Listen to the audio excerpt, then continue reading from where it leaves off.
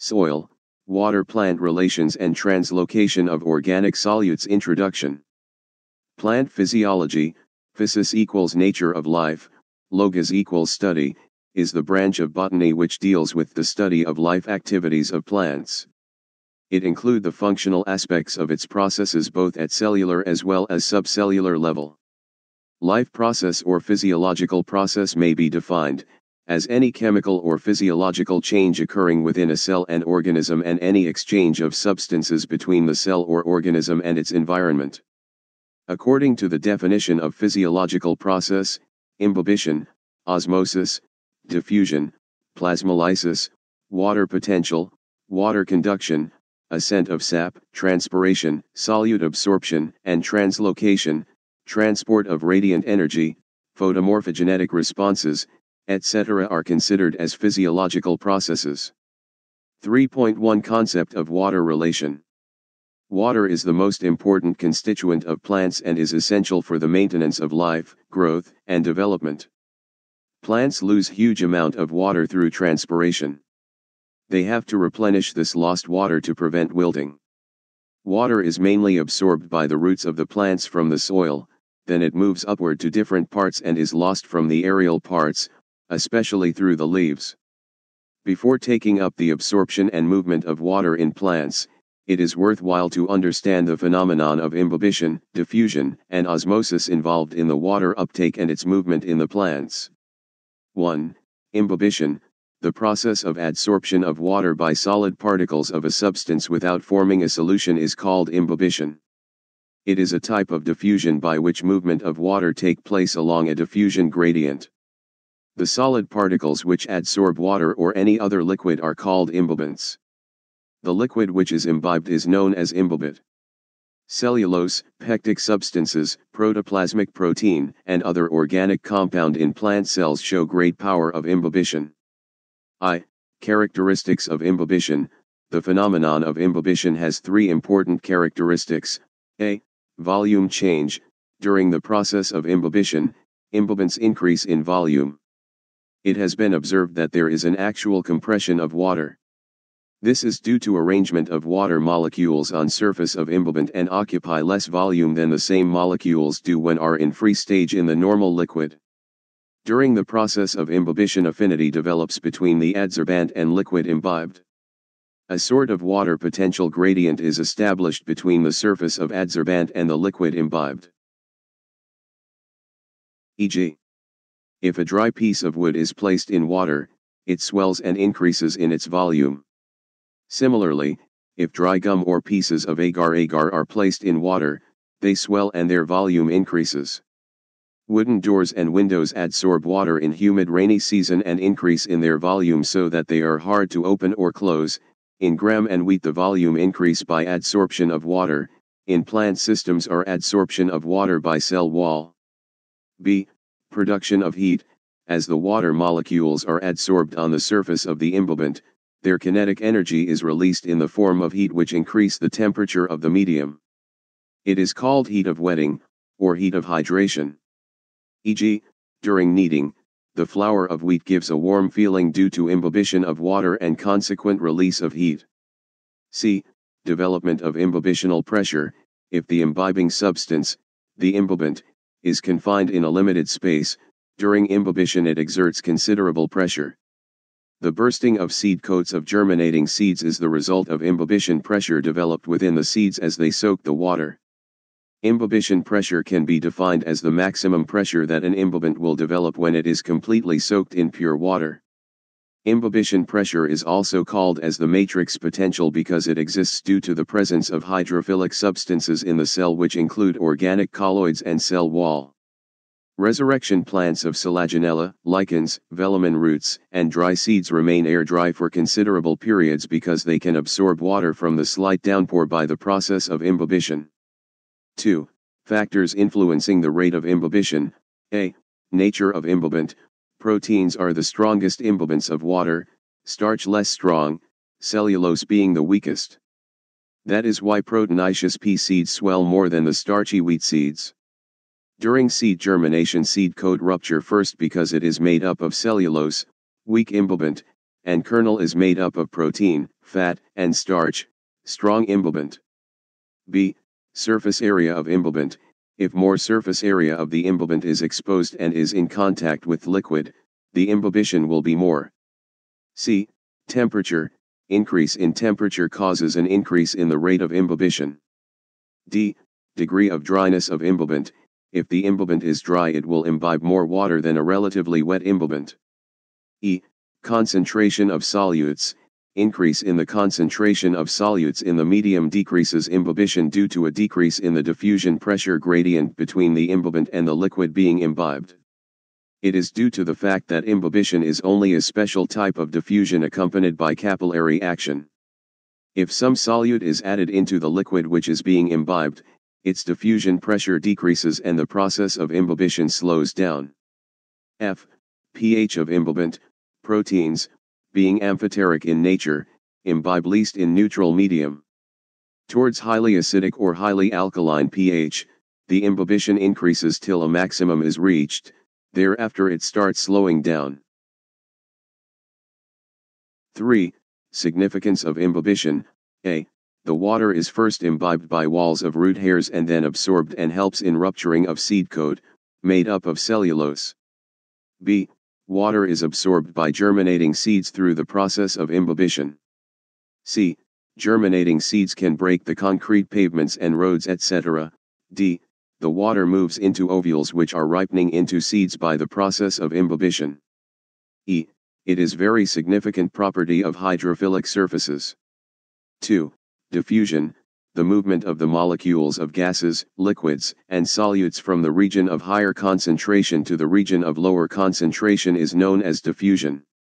Or diffusion is the net movement of molecules or ions of a given substance from a region of higher concentration to lower one by virtue of their kinetic energy.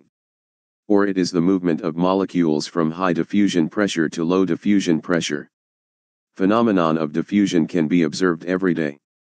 It may occur between gas and gas, e.g., diffusion of ammonia into air, liquid and liquid, e.g., diffusion of alcohol into water, or solid and liquid, e.g., diffusion of sugar into water. The diffusion of one matter is dependent of other. That is why many gases and solutes diffuse simultaneously and independently at different rates in different direction at the same place and time, without interfering each other. From soil, water, and ions of simple inorganic salts pass into plants through the root cells by a process which is basically diffusion, though greatly modified by other factors. The water and solutes pass through the dead and living vessels and also from cell to cell by diffusion. When a crystal of copper sulfate is placed in a beaker containing water, a dense blue color is seen around the crystal. I. Diffusion pressure, it is a hypothetical term coined by Meyer, 1938, to denote the potential ability of the molecules or ions of any substance to diffuse from an area of their higher concentration to that of their lower concentration. Alternatively, it may also be defined as the force with which the diffusing molecules move along the concentration gradient. 2. Diffusion pressure deficit, DPD, or suction pressure, SP, the term diffusion pressure, DP, and diffusion pressure deficit, DPD, were put forth by B.S. Meyer in 1938. Originally, the DPD was described by the term suction force, Saugkraft, or suction pressure, SP, by Renner, 1915. Nowadays, the term water potential, is used which is equal to DPD, but negative in value. Each liquid has a specific diffusion pressure. Pure water or a pure solvent has the maximum diffusion pressure. If some solute dissolved in it, the water or solvent in the resulting solution comes to attain less diffusion pressure than that of the pure water or pure solvent. In other words, diffusion pressure of a solvent, in a solution is always lower than that in the pure solvent. The amount by which the diffusion pressure of water or solvent in a solution is lower than that of pure water or solvent is known as diffusion pressure deficit, DPD. Because of the presence of diffusion pressure deficit, a solution will always tend to make up the deficit by absorbing water. Hence, diffusion pressure deficit is the water absorbing capacity of a solution. Therefore, DPD can also be called suction pressure, SP. 3. Factors influencing rate of diffusion, A. Temperature, increase in temperature leads to increase in the rate of diffusion. B. Pressure, the rate of diffusion of gases is directly proportional to the pressure. So the rate of diffusion increases with increase of pressure. Rate of diffusion's pressure. C. Size and mass of diffusing substance, diffusion of solid is inversely proportional to the size and mass of molecules and ions. Rate of diffusion particles soft mass size 1, d, density of diffusing substance, the rate of diffusion is inversely proportional to the square root of density of the diffusion substance. Larger the molecules, slower will be the rate of diffusion. This is also called Graham's law of diffusion. dd1, d equals diffusion and d equals density of diffusing substance. According to the density the diffusion of substances takes place in following manner, gas liquid solid the vapors of volatile liquids, scent or petrol, and solids, camphor, also diffuse like gases. E. Density of the medium, the rate of diffusion is slower, if the medium is concentrated. Thus, a gas would diffuse more rapidly in vacuum than in air. Substances in solution also diffuse but at a much slower rate than gases. Substances in solution diffuse more rapidly from regions in which their concentration is higher into regions of low concentration.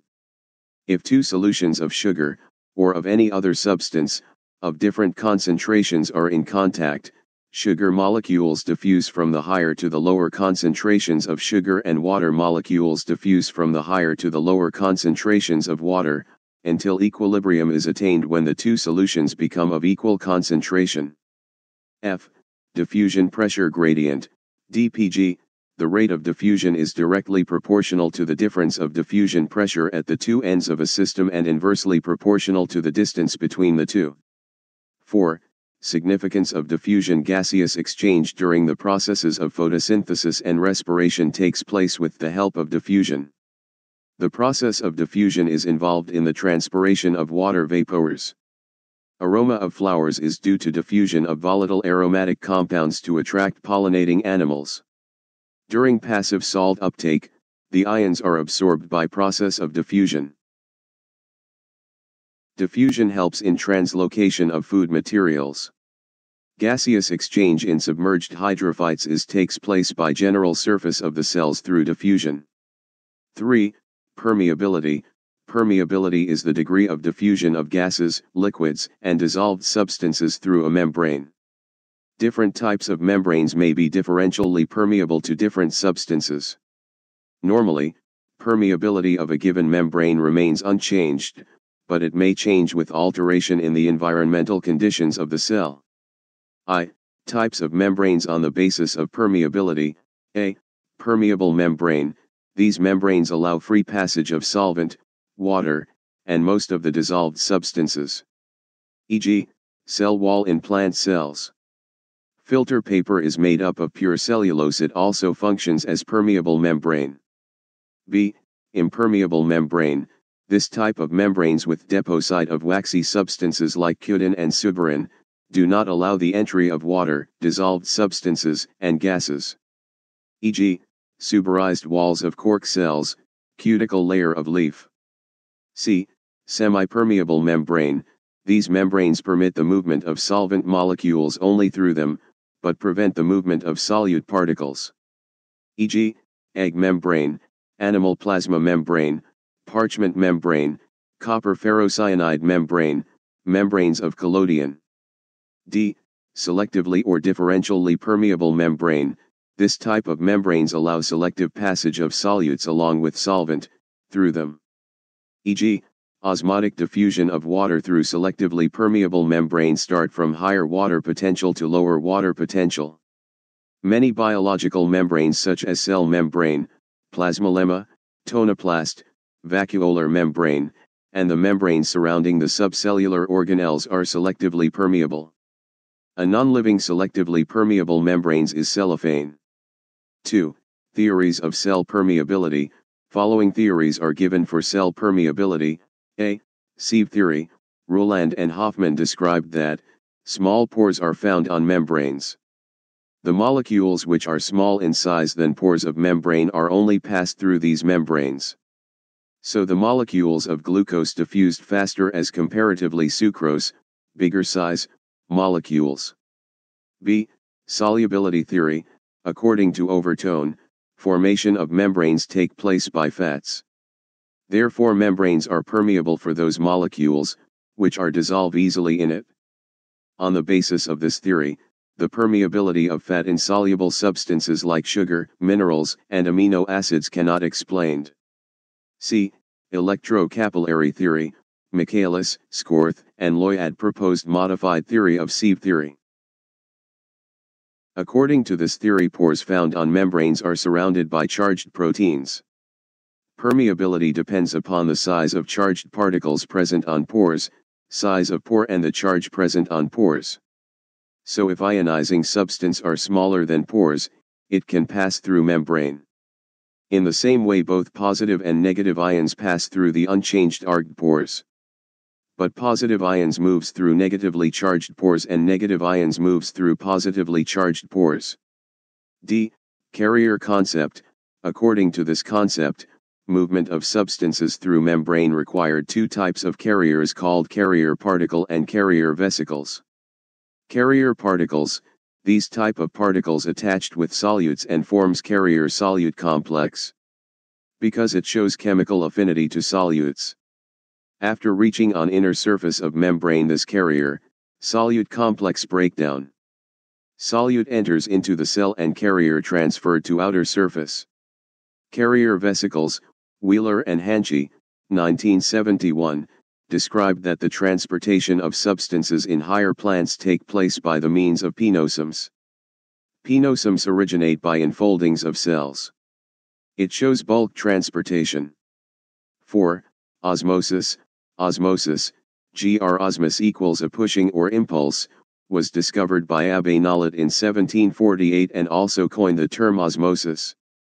First of all Traube, 1867, use copper ferrocyanide and develop semi-permeable membrane to show its utility in the osmosis of plant physiology. First time Pfeffer in, 1887, develop osmoscope by using semi-permeable membrane. Osmosis is special type of diffusion of a liquid, when solvent moves through a semi-permeable membrane from a place of higher diffusion pressure to a place of lower diffusion pressure.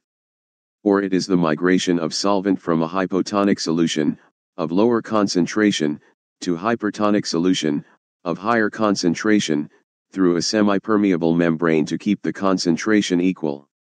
In osmosis, the water, or solvent, molecules moves as follows, from the region of to the region of pure solvent, water, solution dilute solution concentrated solution high free energy of water molecules low free energy of water molecules higher chemical potential, or water potential, lower chemical potential, or water potential, higher diffusion pressure of water lower diffusion pressure of water. In formalin preserved Spirogyra filament, selective permeability of plasma membrane is lost and hence no effect on placing in hypertonic solution. If salt presence in higher concentration in a cell than outer side, water will enter in the cell by osmosis. 4. Differences between diffusion and osmosis S. No. Diffusion osmosis, 1. It is the movement of particles, molecules, or ions from the region of their higher free energy to the region of their lower free energy. It is the movement of solvent of water from the area of its higher free energy or chemical potential to the area of its lower free energy or chemical potential through a semi-permeable membrane. 2. It can occur in any type of medium. It occurs only in liquid medium. 3. The diffusing molecules may be solids, liquids, or gases. It involves the movement of solvent molecule only. 4. It does not require a semi-permeable membrane. A semi-permeable membrane is required for the operation of osmosis. 5. It is purely dependent upon the free energy of the diffusing substance only. It depends upon the free energy chemical potential of the solvent present on the two sides of the semi-permeable membrane. 6. an equilibrium in the free energy of diffusing molecules is achieved in the end. An equilibrium in the free energy of solvent molecule is never achieved. V. Osmotic pressure, OP, Pfeffer coined the term osmotic pressure. Osmotic pressure of a solution is the pressure which must be applied to it in order to prevent the passage of solvent due to osmosis. Or osmotic pressure is that equivalent of maximum hydrostatic pressure which is produced in the solution, when this solution is separated from its pure solvent by a semi-permeable membrane. It can also be defined as the excessive hydrostatic pressure which must be applied to it in order to make its water potential equal to that of pure water. Osmotic pressure is equal to the pressure which is needed to prevent the passage of pure water into an aqueous solution through a semi-permeable membrane. In other words, it is that pressure which is needed to check the process of osmosis. I. Types of osmosis, depending upon the movement of water into or outward of the cell, Osmosis is of two types. A. Endosmosis, the osmotic inflow of water into a cell, when it is placed in a solution, whose solute concentration is less than the cell sap, is called endosmosis e.g., swelling of raisins, when they are placed in water. When a fish of marine water kept in fresh water then it will be die due to endosmosis. An animal cell placed pure water will swell up and burst. Pollen grains of some of plants germinate on stigmas soon but they burst in water or dilute sugar solution. B. Exosmosis, the osmotic outflow of water from a cell, when it is placed in a solution, whose solute concentration is more than the cell sap, is called exosmosis. E.g., shrinkage of grapes, when they are placed in strong sugar solution. 2. Demonstration of osmosis, A. Thistle funnel experiment to show osmosis, tie the mouth of a thistle funnel with an egg membrane or animal bladder which are semi-permeable in nature.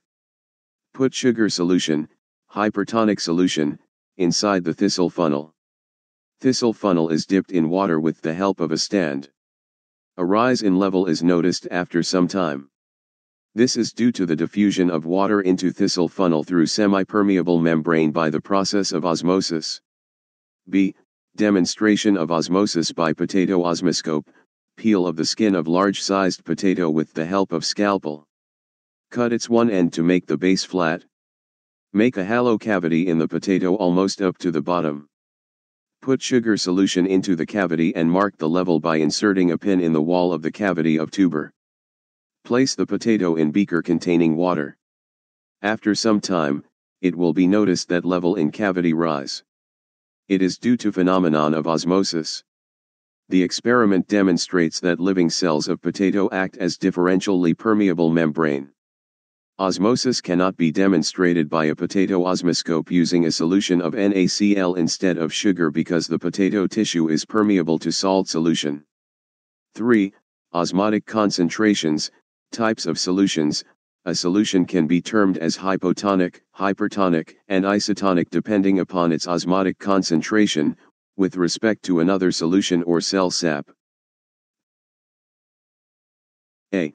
Hypotonic solution, hypo equals less than. A solution, whose osmotic concentration, solute potential, is less than that of another solution or cell sap is called hypotonic solution. If a cell is placed in such a solution, water start moving into the cell by the process of endosmosis, and cell become turgid. B. Hypertonic solution, Hyper equals more than. A solution, whose osmotic concentration, solute potential, is more than that of another solution or cell sap is called hypertonic solution. If a cell is placed in such a solution, water comes out of the cell by the process of exosmosis and cell become flaccid. If potato tuber is placed in concentrated salt solution it would become shrink due to loss of water from its cell. C. Isotonic solution, ISO equals the same. A solution, whose osmotic concentration, solute potential, is equal to that of another solution or cell sap, is called isotonic solution. If a cell is placed in isotonic solution, there is no net changes of water between the cell and the solution and the shape of cell remain unchanged. The normal saline, 0.85% solution of NaCl, and 0.4 m to 0.5 m solution of sucrose are isotonic to the cell sap. Osmotic concentration of a solution may governed by concentration of solute, temperature of solution, ionization of solutes and hydration of the solute molecules. In xerophytes, the osmotic concentration of cell sap is more than normal. E.g., a molar solution of sucrose separated from pure water by such a membrane has an up of approximately 22.4 atmospheres at 0 degrees Celsius. The osmotic pressure of given solution can be calculated by using the following relationship.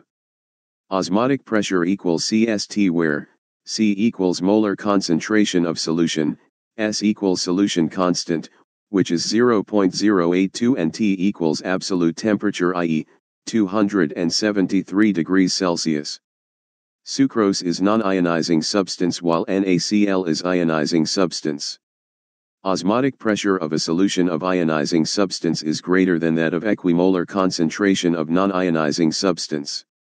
E.g., 0.1 m sucrose solution has an OP of 2.3 bars while 0.1 m sodium chloride solution has value of 4.5 bars. 6. Significance of osmosis in plants. A. The phenomenon of osmosis is important in the absorption of water by plants. B. Cell-to-cell movement of water occurs throughout the plant body due to osmosis. C. The rigidity of plant organs, i.e., shape and form of organism, is maintained through osmosis. D. Leaves become turgid and expand due to their op. E. Growing points of root remain turgid because of osmosis and are thus, able to penetrate the soil particles.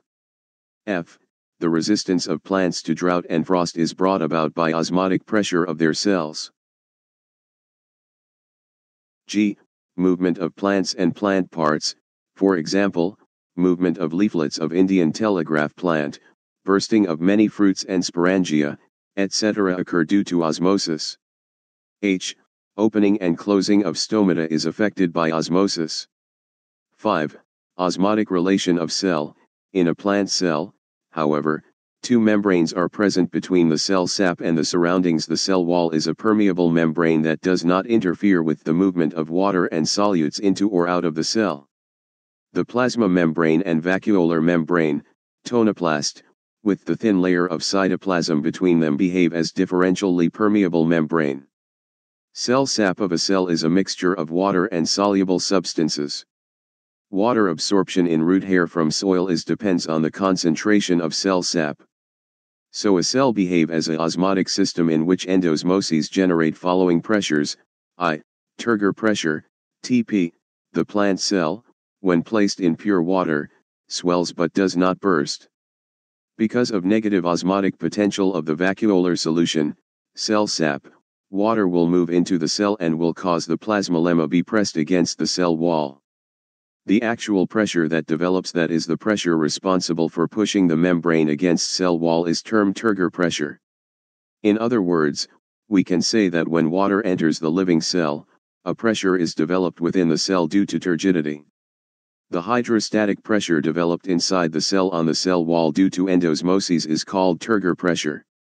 It is responsible for growth of young cells. Significance of turgidity in plants It provides stability to a cell.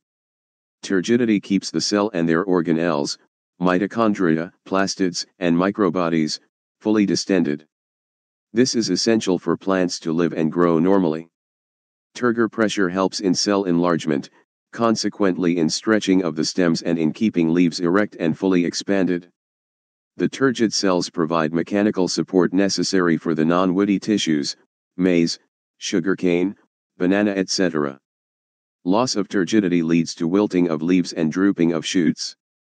The opening and closing of stomata are regulated by the turgidity of the guard cells. Leaf movements, seismonastic movement, of many plants, such as bean, sensitive plant Mimosa pudica, are controlled by loss and gain of cell turgor. Due to turgid pressure plumule and radicles force out from seeds at the time of seed germination. Cell wall plasma membrane 2. Wall pressure, WP, due to turgor pressure, the protoplast of a plant cell will press the cell wall to the outside. The cell wall being elastic, presses back the protoplast with a pressure equal in magnitude but opposite in direction. This pressure is called wall pressure. Wall pressure, WP, may, therefore, be defined as the pressure exerted by the cell wall over the protoplast to counter the turgor pressure. Normally wall pressure is equal and opposite to turgor pressure, WP equals TP, except when the cell become flaccid. The value of the two forces continue to rise with the continued entry of water, till the cell becomes fully turgid. 6. Interrelationship of dPd, up, and Tp, Wp, dPd indicates the sucking power of suction pressure. As water enters into the cell the Tp of the cell is increased. Cell wall exerts equal and opposite Wp against Tp. The actual force responsible for entry of water will be therefore up, Tp i.e., dPd equals up, Wp, as Wp equals Tp, dPd equals up, Tp consider that a plant cell with up equals 10 atm is immersed in pure water. In the beginning Tp inside the cell is 0 i.e. dPd equals up equals 10 atm. When water enters into the cell, Tp increases. Turgidity increases and cell wall develops equal and opposite Wp. At the stage of equilibrium Tp equals 10 atm and dPd will become 0. It is important to note that up was same when cell was flaccid and turgid. dPd equals up, Tp equals 10 to 0 equals 10, when flaccid, equals 10 to 10 equals 0, when turgid, the entry of water in cell to cell depends up on the dPd and not on up and Tp. This can be exemplified as follows, a cell, A, with up equals 8 and Tp equals 4 is surrounded by the cells, B, with up equals 10 and Tp equals 8. Then for cell A, dPd equals up, Tp equals 8 to 4 equals 4 similarly for cell B, dPd equals up, Tp equals 10 to 8 equals 2, equals 8 to 4 equals 4 similarly for cell B, dPd equals up, Tp equals 10 to 8 equals 2 diffusion pressure since the dPd of cell A is more, it has less water and, therefore water would diffuse from cell B into the cell A, because that dPd of cell B is less than that of A or it has more water than cell A. The entry of water into the cell A would stop when dPd of both the cells becomes equal. In this way water moves from a cell with less dPd into the cell with more dPd. Thus, dPd is the osmotic parameter, which determines the flow of water from one cell to another. Under given suitable conditions, the dPd more than up when Tp is negative. dPd of a cell mainly depends upon up. If two cells have the same up but differ in Tp, the direction of the movement of water from higher Tp to lower Tp, 7, plasmolysis, gr plasma equals something formed, lysis equals loosing, if a living plant cell is placed in a highly concentrated solution, i.e. hypertonic solution, water comes out of the cell due to exosmosis, through the plasma membrane. The loss of water from the cell sap causes shrinkage of the protoplast away from the cell wall in the form of a round mass in the center. The shrinkage of the protoplast of a living cell from its cell wall due to exosmosis under the influence of a hypertonic solution is called plasmolysis. The stage of plasmolysis, when the protoplast just begins to contract away from the cell wall is called incipient plasmolysis. The stage when the cell wall has reached its limit of contraction and the protoplast has detached from cell wall attaining spherical shape is called evident plasmolysis. In a plasmolyzed cell, the space between the contracted protoplast and the cell wall remains filled with external solution. If a cell with incipient plasmolysis is placed in a hypertonic solution it will show more plasmolysis. If a plasmolyzed cell is placed in pure water or hypotonic solution, endosmosis takes place. The protoplast attains its original shape and the cell regains its original size. The swelling up of a plasmolyzed protoplast due to endosmosis under the influence of a hypotonic solution or water is called diplasmolysis. Diplasmolysis is possible only immediately after plasmolysis otherwise the cell protoplast becomes permanently damaged. Leaf of Tradescantia is used for demonstration of plasmolysis in laboratory. The value of Tp becomes zero at the time of limiting plasmolysis and below zero during incipient and evident plasmolysis. Chloroplasm, nucleus vacuole filled with Significance of plasmolysis, it proves the permeability of the cell wall and the semi-permeable nature of the protoplasm. The op of a cell can be measured by plasmolysis. The op of a cell is roughly equal to the op of a solution that causes incipient plasmolysis in the cell. Salting of pickles, meat, fishes etc. and addition of sugar to jams, jellies, cut fruits etc., prevent their decay by microbes, as the latter get killed due to plasmolysis or due to high concentration of salt or sugar. By salting, the weeds can be killed from tennis courts and the growth of plants can be prevented in the cracks of walls. Plasmolysis is helpful in determining whether a particular cell is living or dead as plasmolysis does not occur in a dead or non-living cell. 8. Water potential. The movement of water in plants cannot be accurately explained in terms of difference in concentration or in any other linear expression. The best way to express spontaneous movement of water from one region to another is in terms of the difference of free energy of water between two regions. Free energy is the thermodynamic parameter, that determine the direction in which physical and chemical changes must occur. The potential energy of water is called water potential. E.g., water is stored behind a dam. When the water runs downhill, its potential energy can be converted to electrical energy. This conversion of energy of water is due to gravity. The other source that provides energy to water is pressure. The increasing pressure increases the free energy thereby increasing water potential. Water running downhill due to gravity can be made to run uphill by overcoming the water potential, energy, by applying pressure. This means that water moves from the point, where water potential is greater to the other, where water potential is less. The difference in water potential between two points is a measure of the amount of work or energy needed to move water from one point to the other. Thus, based on the concept of water potential, the direction of water movement can be predicted. Water potential is measured in terms of pressure. Measurement unit of water potential is Pascal, Pa, 1 megapascal, MPa equals 10 bars. It is represented by Greek letter, psi.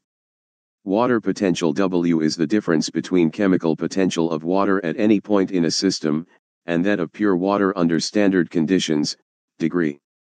The value of water potential can be calculated by formula, W equals, degree, equals RT1 NE slash E degree where W equals water potential, R is gas constant, T is absolute temperature, K, E is the vapor pressure of the solution in the system at temperature T, and E degree the vapor pressure of pure water at the same temperature.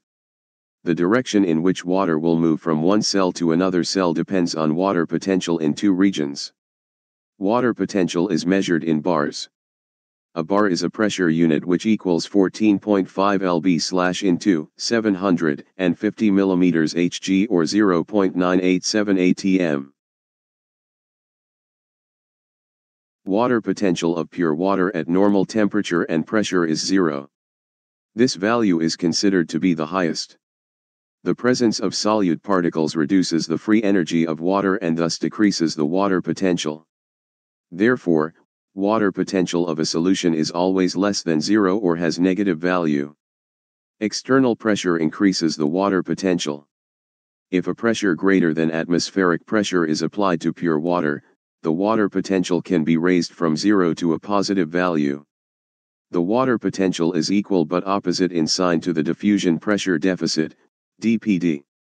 In terms of dPd, the movement of water takes place from the region of lower dPd to the region of higher dPd, while in terms of water potential, the flow of water occurs from the region of higher water potential, less negative, to the region of lower water potential, more negative. The movement of water continue till the water potential in two regions becomes equal. I, component of water potential, when a cell is subjected to the movement of water, many factors begin to operate which ultimately determine the water potential of cell sap. For solutions, such as contents of cells, water potential is determined by three major sets of internal factors viz., matric potential, M, solute potential, S, and pressure potential, P. The water potential, in a plant cell or tissue can be written as the sum of the matric potential, M, due to binding of water to cell walls and cytoplasm, the solute potential, S, due to concentration of dissolved solutes, which by its effect on the entropy components reduces the water potential and the pressure potential, P, due to hydrostatic pressure, which by its effect on the energy components increases the water potential, equals M plus S plus P. 1. Each component potential is discussed separately below, A. Matric potential, M. Metric is the term used for the surface, such as, soil particles, cell walls, protoplasms, etc., to which water molecules are adsorbed. The matric potential, M, is the component of water potential influenced by the presence of a matrix. It has got a negative value. In case of plant cells and tissues, the matric potential is often disregarded because it is not significant in osmosis. Thus, the above equation, 1, may be simplified as follows, equals S plus P. 2. In normal cells of mesophytes and hydrophytes it is almost negligible due to presence of large vacuole which leaves little space for matrix in the cell. In herbaceous plants it has been calculated to be only 0.1 bar by Wiebe, 1966. Its value, however, is quite high, 100 to 200 bars, in xerophytes and dries eds. B. Solute potential, S. Solute potential is also known as osmotic potential. It is defined as the amount by which the water potential is reduced as a result of the presence of solute. Solute potentials or osmotic potentials, S, are always in negative values, number. The term solute potential takes the place of osmotic pressure, pi, expressed in bars with a negative sign.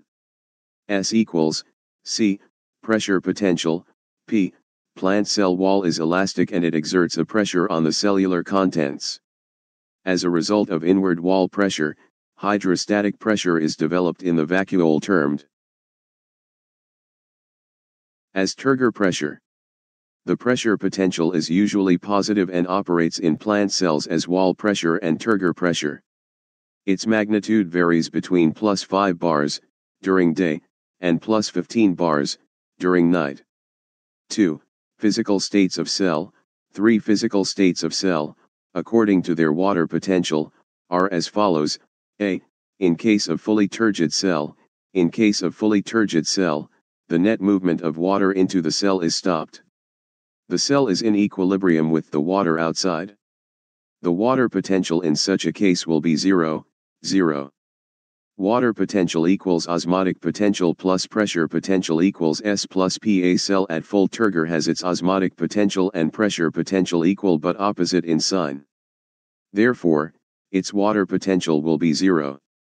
For example, supposing a cell has its S of 10 bars and P of 10 bars the resultant water potential will be zero as follows, equals S plus P equals 10 bars plus 10 bars equals 0 bars, B, in case of flaccid cell, when a plant cell is flaccid, its turgor becomes zero, corresponding to a turgor pressure of a zero bars. Zero turgor is approached under natural conditions when a tissue is severely wilted. A cell at zero turgor has an osmotic potential, S, equal to its water potential. For example, supposing a flaccid cell has an osmotic potential of 10 bars and pressure potential, P, of 0 bars. Water potential equals osmotic potential plus pressure potential equals S plus P equals 10 bars plus 0 bars equals 10 bars. The water potential of the cell will be 10 bars, which is less as compared to the water potential of pure water, 0 bars. C. In case of plasmolysed cell, when the vacuolated parenchyma cells are placed in solutions of sufficient strength the protoplast decreases in volume to such an extent that they shrink away from the cell wall. The cells are plasmolysed. Such cells have negative value of pressure potential, negative turgor pressure. The resultant water potential will be more negative, as for example, A plasmolysed cell has osmotic potential of 10 bars and pressure potential of 2 bars. The water potential of the cell will be 12 bars. Water potential equals osmotic potential plus pressure potential equals S plus P. Equals 10 plus, 2, equals 12 bars, 3, movement of water between two adjacent cells, suppose A and B are two adjacent plant cells where osmotic movement of water can occur.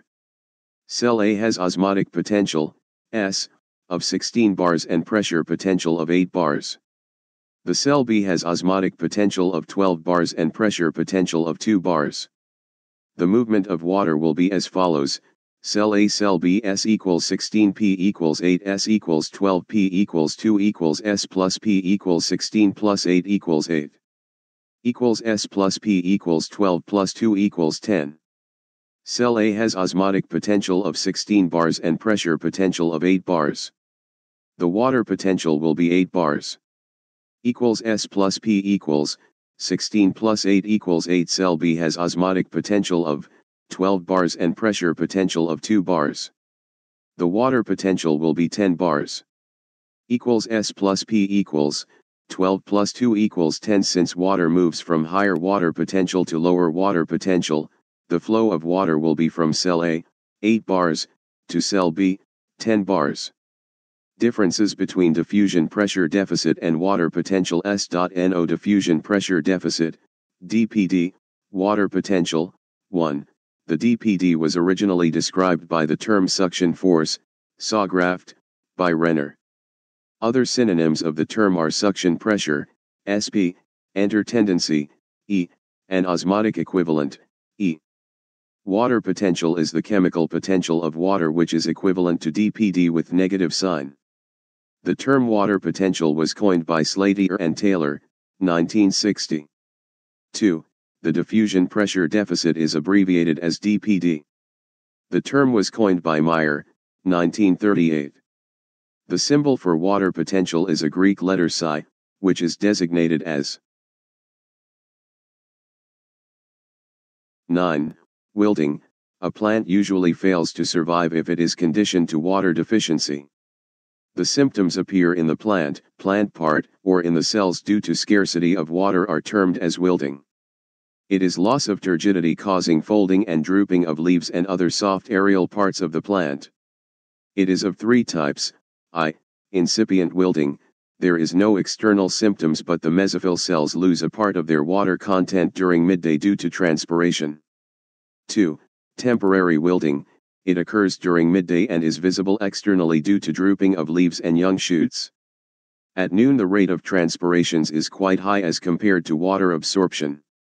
Which decreases further due to depletion of water around rootlets. It is corrected in the afternoon when transpiration decreases. 3. Permanent wilting, it is the last stage in wilting when the aerial parts do not regain turgidity even if placed in water-saturated atmosphere. It is caused by decrease in water content of the soil which increases TSMS, total soil moisture stress, or resistance to absorption to such an extent that plant roots are unable to absorb water.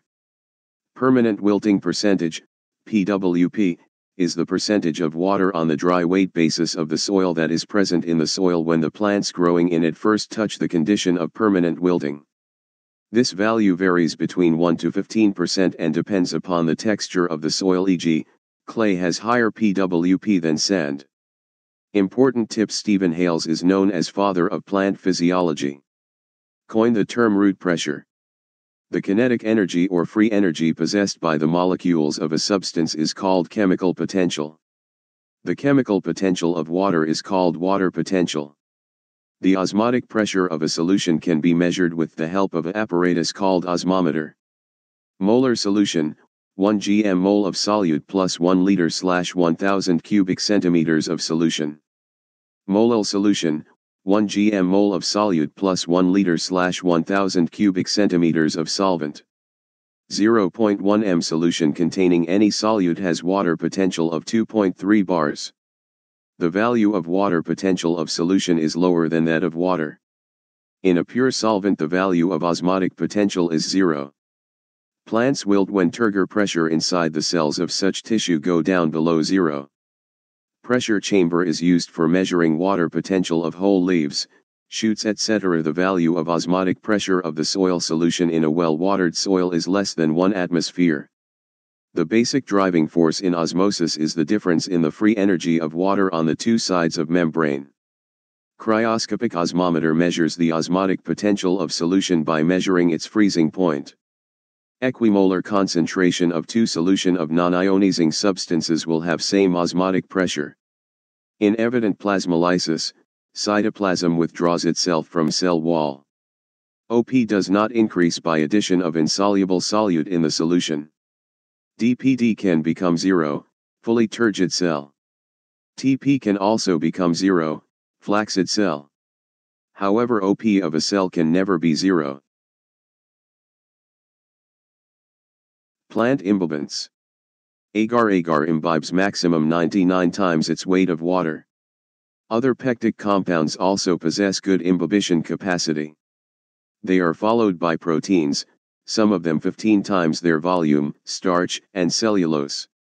Seeds swell more if they are protein rich than starchy seeds.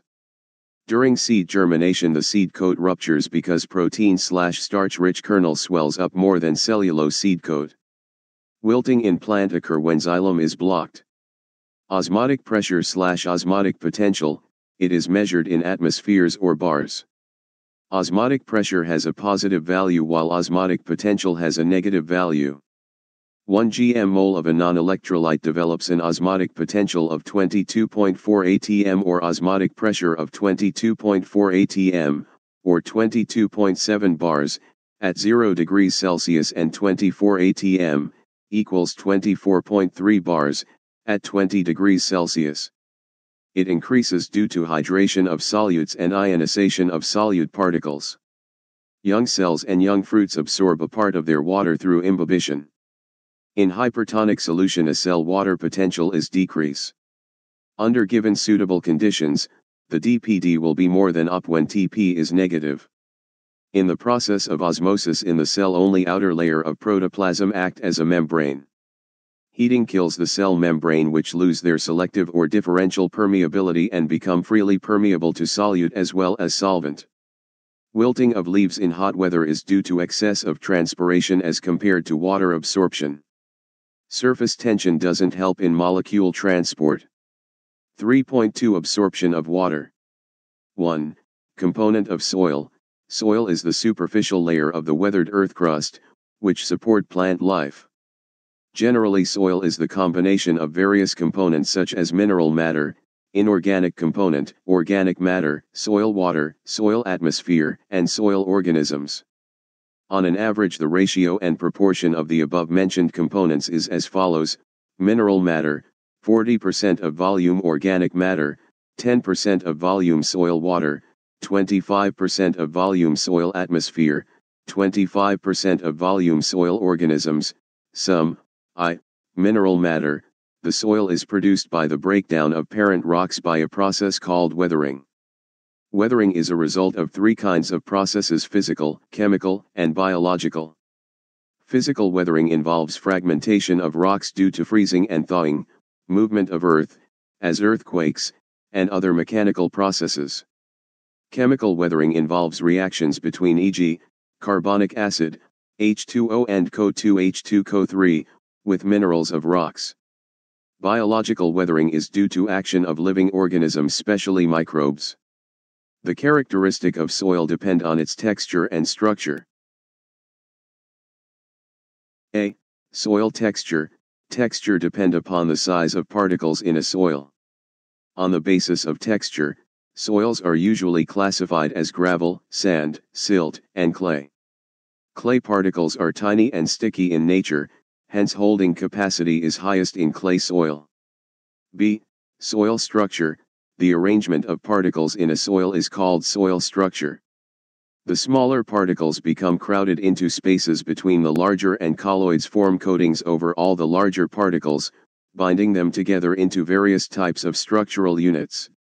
2. Organic matter, both plants and animals contribute to the organic matter of the soil.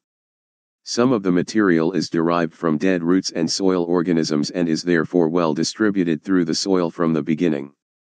On the other hand much organic matter is deposited upon the soil surface as leaves, twigs, etc., and becomes incorporated into the mineral matter only through the activities of microorganisms. After the normal biological processes of decay, decomposition of litter through the above stages, the resultant production becomes incorporated into the mineral soil imparting a dark color to it. Such finely divided amorphous organic matter as has become mixed with the mineral materials is called humus and the process leading to its formation humification. Humus usually is homogeneous, dark-colored and odorless. Humus and clay the two colloidal components of the soil are called colloidal complex of soil. This complex increases water holding capacity of sandy soil. 3. Soil water, the chief source of soil water is rain. In soil water found in different forms. Various terms have been used for soil water according to its availability and non-availability to the plants. The total amount of water present in the soil is called holard, of this the available to the plant is called chresard and the water which cannot be absorbed by the plants is called echard. Water occurs freely deep in the soil and above the parent rock, it is called groundwater.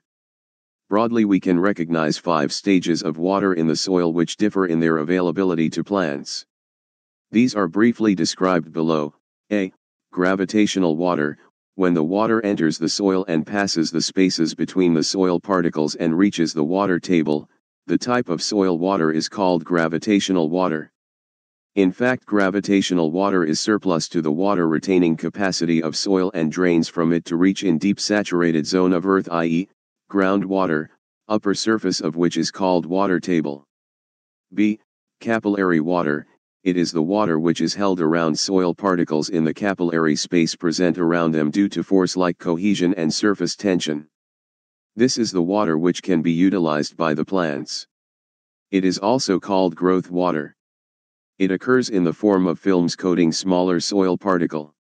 The availability of capillary water to the plant depend upon its diffusion pressure deficit which is termed as the soil moisture stress. The plant cells much have a DPD more than the soil moisture stress for proper absorption of water. C. Hygroscopic water, this is the form of water which is held by soil particles of soil surfaces. The water is held tightly around the soil particles due to cohesive and adhesive forces. Water cannot be easily removed by the plants. Cohesive and adhesive forces greatly reduce the water potential, and thus this type of water in soil is not available to plants. D. Runaway water, after the rain, water does not enter the soil at all, but drained of along the slopes. It is called runaway water. The quantity of runaway water is controlled by factors like permeability of soil, moisture content of soil, degree of slope and number of ditches present in that area. Plants fail to avail this water. E. Chemically combined water, some of the water molecules are chemically combined with soil minerals, e.g., silicon, iron, aluminium, etc. This water is not available to the plants. After a heavy rainfall or irrigation a very little amount of water is retained by the soil, rest of it moves away as surface runaway water or gravitational water. The amount of water actually retained by the soil is called field capacity or water holding capacity of the soil. It is about 25 to 35% in common loam soil. The excess amount of water beyond the field capacity produces water logging. 4. Soil atmosphere, in moderately coarse soils as well as in heavy soils, fine textured soil, that are with aggregated particles, there exists large interstitial spaces which facilitate the diffusion of gases. As a result the CO2 produced in a soil by respiration of soil organisms and roots is able to escape rather easily and oxygen used up in this process diffuses into the soil with corresponding case. V. Soil organisms, the soil fauna include protozoa, nematodes, mites, insects, earthworms, rats. Protozoans alone are approximately 1 million per gram of soil. Earthworms have the most important effect on the soil structure. Their activities result in a general loosening of the soil which facilitates both aeration and distribution of water. Blue-green algae and bacteria increases nitrogen content by nitrogen fixation in soil. 2. Water-absorbing organs, plants absorb water mostly from the soil by their roots, but in some plants even aerial parts like stem and leaves also do the absorption of atmospheric water or moisture. Some important examples of such plants are Vitis, Solanum, Lycopersicum, Phaseolus, Kochia and Beta. The absorption of water by aerial parts is affected by various factors such as structure of epidermis, thickness of cuticle, presence of hair and degree of dryness of epidermal cells. However, maximum absorption of water is done by the roots. The zone of rapid water absorption usually lies some 20 to 200 mm from the root tip behind the meristem, where the xylem is not fully mature and the epiblema as well as the endodermis are still permeable. Kramer, 1956. This area is usually characterized by the presence of root hairs which serve to increase the area of contact between the root surface and soil. However, presence of root hair is not essential for water absorption. Some roots, such as adventitious xylem phloem Roots of bulbs, corms, and rhizomes and those of some aquatic plants and gymnosperms do not have root hairs. The zone of rapid water absorption moves along with the growth of root, as the older cells become suberized and lose their ability to absorb water. The root hairs develop mainly at the tip just above the zone of elongation, cell maturation. A root hair is the unicellular tubular prolongation of the outer wall of the epiblema. The cell wall of root hairs is two-layered. The outer layer is made up of pectic substances and is therefore highly hygroscopic. The inner layer is made up of cellulose. Inside the cell wall is a thin layer of cytoplasm which surrounds one or more large vacuoles. The nucleus generally present at the tip. During water absorption the plasma membrane of root hair, the cytoplasm, and the vacuole membrane, tonoplast, behave together as a single differentially permeable membrane. Root hairs are at the most 1.25 cm in length and never more than 10 mm in diameter. As the root progresses through the soil, new root hairs are formed at the beginning of the zone of maturation, the older hairs further back on the root, dry up and then disappear. Root hairs elongate very rapidly and may attain full size within few hours. The number of root hairs may be simply enormous, it has been estimated that a single rye plant may have 14 billion root hairs with a total surface area of 4,000 sq feet. Thus the root hairs of plants increase the absorption surface of a root system about 5 to 20 times and because they extend so widely through the soil they make available a supply of water that the plant could not otherwise obtain. Water potential of root hair cells is generally 1 to 4 atm. 3. Pathway of water movement in root. Water in the root moves through three pathways such as apoplast pathway, symplast pathway, and transmembrane pathways. Munch coined the term apoplast and symplast. I. Apoplast pathway. The apoplastic movement of water occurs exclusively through the cell wall without crossing any membrane. 2. Symplast pathway, the symplastic movement of water occurs from cell to cell through the plasmodesmata. 3. Transmembrane pathway, water after passing through cortex is blocked by Casparian strips present on endodermis. The Casparian strips are formed due to deposition of wax-like substance, suberin. In this pathway, water crosses at least two membranes from each cell in its path. These two plasma membranes are found on entering and exiting of water. Here, water may also enter through tonoplasts surrounding the vacuole i.e., also called as vacuolar pathway. 4. Mechanism of water absorption, two distinct mechanisms which are independently operate in the absorption of water in plants. These mechanisms are, I. Active absorption, 2. Passive absorption symplast pathway plasmodes Renner coined the term active and passive water absorption. I. Active absorption. Active absorption takes place by the activity of root itself, particularly root hairs. It utilizes metabolic energy. There are two theories of active absorption, A. Osmotic theory, It was proposed by Atkins, 1916, and Priestley, 1922. It is purely a physical process, which does not directly require expenditure of energy. A root hair cell functions as an osmotic system.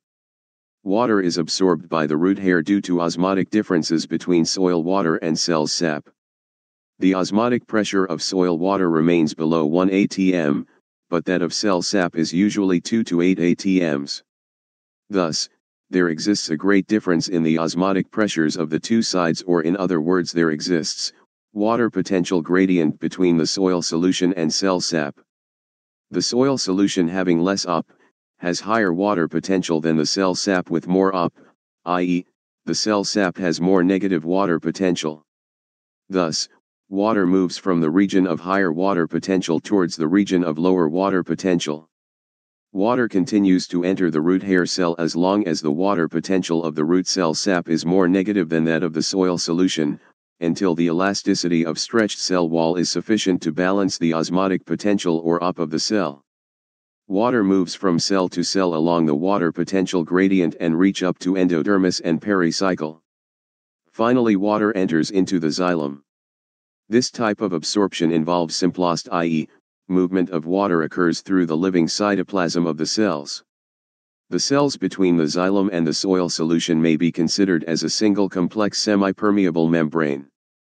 B. Non-osmotic theory, it was proposed by Thimann, 1951, and Kramer, 1959. It has been observed that absorption of water still occurs, if the concentration of cell sap in the root hair is lower than that of the soil water, or water is absorbed against concentration gradient, i.e., from higher DPD to lower DPD. Such type of water absorption occurs on the expense of energy obtained from respiration. The exact mechanism of utilization of energy is not well understood. It may be used directly or indirectly. Following evidences support the view that energy is utilized during active absorption of water, rate of water absorption is directly proportional to the rate of respiration. Factors like low temperature, deficiency of oxygen, respiratory inhibitors such as KCN, which inhibit respiration also inhibit the absorption of water. Auxins, which increase respiration also promote water absorption. Wilting of plants occur in non-aerated soils such as waterlogged soils, as roots fail to absorb water in absence of respiration. The occurrence of distinctive diurnal variation in water uptake and root pressure. It is faster during daytime and slower during night. This fact is also true for respiration. 2. Passive absorption, it is the most common and rapid method of water absorption. It account for about 98% of the total water uptake by plant. According to this theory, the forces responsible for absorption of water originate not in the cell of roots but in the cells of transpiring shoots. In other words in this type of absorption of water, the roots remain passive.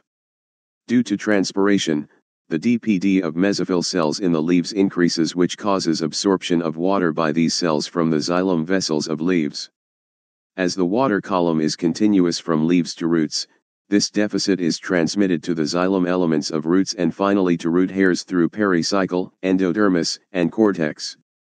In this way water is continuously absorbed due to transpiration pull created in the leaves. This type of water transport occurs mainly through the apoplast in cortex but through the symplast in endodermis and pericycle. The path of water from soil up to secondary xylem is, soil root hair cell wall cortex endodermis pericycle protoxylem metaxylem. Differences between active and passive absorption of water S.No active absorption passive absorption 1. Force for absorption of water is generated in the cells of root itself. Force for absorption of water is created in the mesophyll cells. 2. Osmotic and non-osmotic forces are involved in water absorption. Water is absorbed due to transpiration pull. 3. Water is absorbed according to DPD changes. Water is absorbed due to tension created in xylem sap by transpiration pull. 4. Water moves through symplast. Water moves mainly through apoplast. 5. rate of absorption is not affected significantly by temperature and humidity. Its rate is significantly affected by all those factors which influence the rate of transpiration. 6. Metabolic inhibitors if applied in root cells decrease the rate of water absorption. No effect of metabolic inhibitors if applied in root cells. 7. Occurs in slow transpiring plants which are well watered. Occurs in rapidly transpiring plants. 8. Rate of absorption is slow. Very fast rate of water absorption. 5. Factors affecting rate of water absorption. The different factors which influence the rate of water absorption by a plant can be divided into external or environmental and the internal factors. I. External or environmental factors. A. The amount of soil water. If the amount of water in the soil is between its field capacity and permanent wilting percentage, the rate of water absorption remains more or less uniform but a decrease in the soil water below the permanent wilting percentage causes decrease in the absorption of water. If the soil water is increased much beyond the field capacity, as happens during floods, the air pores between soil particles are filled with water, and water absorption stops. B. Concentration of solutes in the soil water. If the concentration of solutes increases in the soil water, its OP also increases which slows down or even inhibits the absorption of water. It happens due to addition of enough fertilizers in the soil increasing its salinity. This is popularly called as physiological dryness and is different from physical dryness which is caused due to virtual lack of water as in xerophytes. C. Soil aeration, water absorption is done more efficiently in well aerated soil. Any deficiency of oxygen stops the respiration of roots and causes accumulation of CO2 thus the protoplasm becomes viscous and the permeability of plasma membrane decreases. Due to all these factors the rate of water absorption is reduced. This is the reason for death of plants in flooded areas. D. Soil temperature. The optimum temperature for maximum rate of water absorption ranges between 20 degrees Celsius and 30 degrees Celsius. Too high a temperature kills the cells.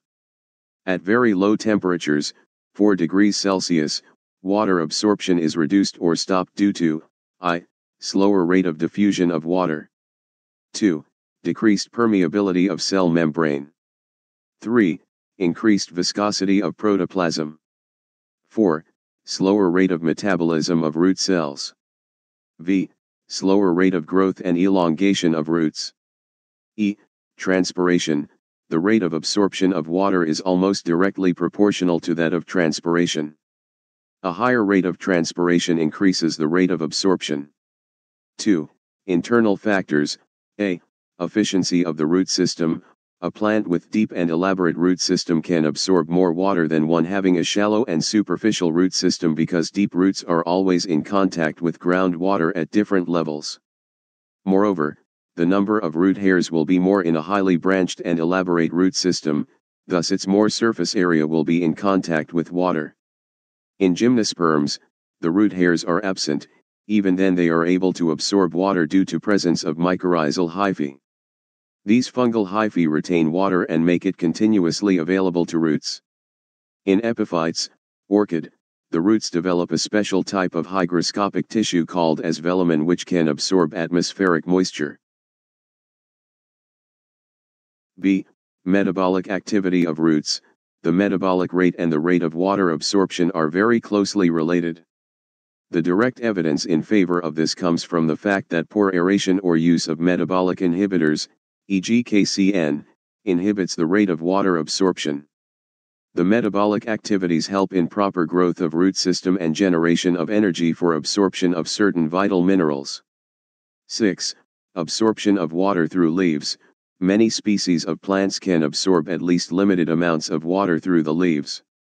Temporary immersion of aerial organs in flood waters takes place in some cases. Also the aerial organs of plants frequently become wet as a result of fog, dew, or rain. The turgidity of wilted leaves of many species can be restored by immersing them in water, most of the water enters through the epidermal cells, although in some species hairs and specialized epidermal cells provide regions of high permeability. In general water absorption is more rapid in young leaves than in old leaves of the same plant. Important tips Tensiometer is the instrument for measuring soil water potential. Apoplast is the non-living continuity of plant body which consists of cell walls, intercellular spaces, and water-filled xylem channels. Symplast pathway consists of the entire network of cell cytoplasm interconnected by plasmodesmata. Auxin-treated cells can absorb water even from hypertonic solution by active process. Only capillary water is available to plants. The amount of water left in the soil after the plant has permanently wilted is the wilted coefficient. Humus and clay are two colloidal complexes of soil. All organic plant debris which has recently fallen on soil is called litter or a zero-zero layer. The organic matter is colloidal, due to this water holding capacity is relatively high. Root system in a plant is well developed for increased absorption of water. Cell absorb water by osmosis and imbibition.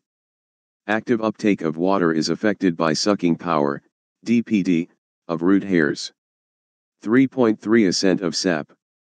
Land plants absorb water from the soil by their roots. The absorbed water is transported from roots to all other parts of the plants to replace water lost in transpiration and metabolic activities. The stream of water also transports dissolved minerals absorbed by the roots. The water with dissolved minerals is called sap. The upward transport of water along with dissolved minerals from roots to the aerial parts of the plant is called ascent of sap. At midday hours the xylem sap is in a state of tension because the rate of transpiration is very high. 1. Path of ascent of sap, it is now well established that the ascent of sap takes place through xylem. In herbaceous plants almost all the tracheary elements participate in the process, but in large woody trees the tracheary elements of only sapwood are functional. Further, it has been proved experimentally that sap moves up the stem through the lumen of xylem vessels and tracheids and not through their walls. 2. Theories of ascent of sap The various theories put forward to explain the mechanism of ascent of sap in plants can be placed in following three categories I. Vital force theories, 2 root pressure theory, 3. Physical force theories, I. Vital force theories, according to these theories the forces required for ascent of sap are generated in living cells of the plant. These theories are not supported by experimental evidences hence they have been discarded. Some of the important vital force theories are mentioned below, a. According to Westermaier, 1883, ascent of sap occurred through xylem parenchyma, tracheids, and vessels only acted as water reservoirs. B. Relay pump theory, according to Godlewski, 1884, ascent of sap takes place due to rhythmatic change in the osmotic pressure of living cells of xylem parenchyma and medullary rays and are responsible for bringing about a pumping action of water in upward direction. Living cells absorb water due to osmosis from bordering vessels, which act as reservoirs of water, and finally water is pumped into xylem vessel due to lowering of pressure in living cells. Thus a staircase type of movement occurs. Janse, 1887, supported the theory and showed that if lower part of the shoot is killed upper leaves were affected. Criticism Strasburger, 1891, and Overton, 1911, used poisons, like picric acid, and excessive heat to kill the living cells of the plant. When such twigs were dipped in water, ascent of sap could still occur uninterrupted. This definitely proved that no vital force is involved in ascent of sap. Xylem structure does not support the Godlewski's theory. For pumping action living cells should be in between two xylem elements and not on lateral sides as found. See, Pulsation Theory, Sir J. C. Bose, 1923, said that living cells of innermost layer of cortex, just outside the endodermis were in rhythmatic pulsations. Such pulsations are responsible for pumping the water in upward direction. He inserted a fine needle into the stem of Desmodium. The needle was connected to a galvanometer and an electric circuit. The fine needle was inserted into the stem slowly. The galvanometer showed slow oscillations which were because of local irritations. but when needle touched the innermost layer of cortex, oscillations turned violent indicating that cells in this layer were pulsating i.e., expanding and contracting alternately. According to Bose, the pulsatory cells pump the water into vessels. C. A. B. Criticism, Dixon failed to verify the results of Bose. It has been estimated that sap should flow through 230 to 240 pulsating cells per second to account for normal rate of pulsations. This rate is several times higher as would be possible to the Bose theory, Shull, MacDougal, Benedict. 2. Root pressure theory, it is proposed by Priestley. According to this theory the water, which is absorbed by the root hairs from the soil collects in the cells of the cortex. Because of this collection of water the cortical cells become fully turgid.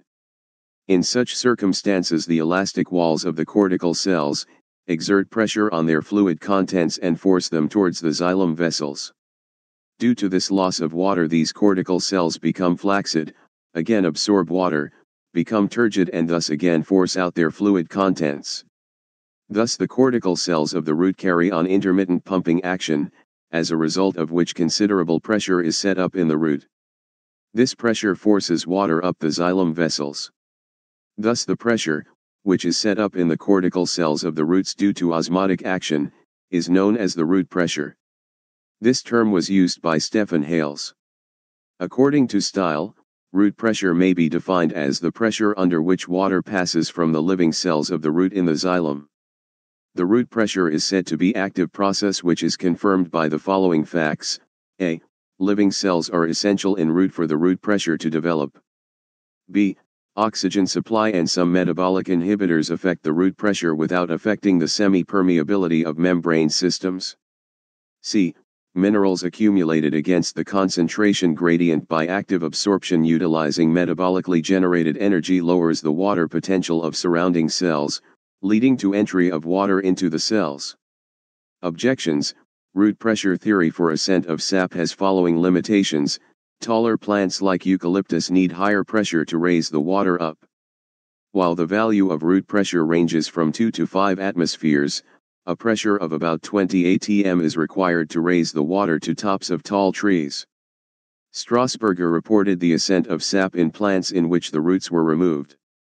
Plants growing in cold, drought or less aerated soil, root pressure fails to appear and transport of water is normal. 3. Physical force theories, according to these theories the ascent of sap is purely a physical process. Some of the vital force theories are mentioned below, a. Capillarity theory, it was proposed by Boehm, 1809. According to him, in the fine tubes, the water rises as a result of surface tension to different heights depending on the capillarity of the tube. Manomet The finer the tube, the greater will be the rise of water in it.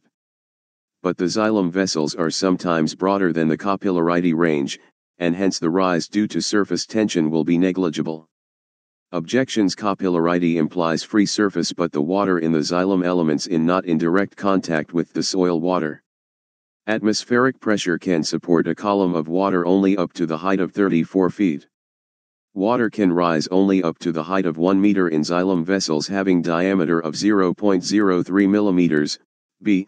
Imbibitional theory, it was proposed by Unger, 1868, and supported by Sachs, 1879. According to them, water moves upward in the stem through the wall of the xylem vessels. This theory is not accepted now because it is proved that water moves through the lumen of the xylem vessels and tracheids. See, Atmospheric pressure theory, due to the loss of water by transpiration, the leaves draw water from the xylem vessels through osmotic pressure, which creates a sort of vacuum in the vessels. The atmospheric pressure acting on the water in the soil forces the water to rise up in the xylem vessels to fill the vacuum but the atmospheric pressure can force the water to a height of only 10 meters. So it is evident that atmospheric pressure alone cannot force water to a height of 100 meters or more. D.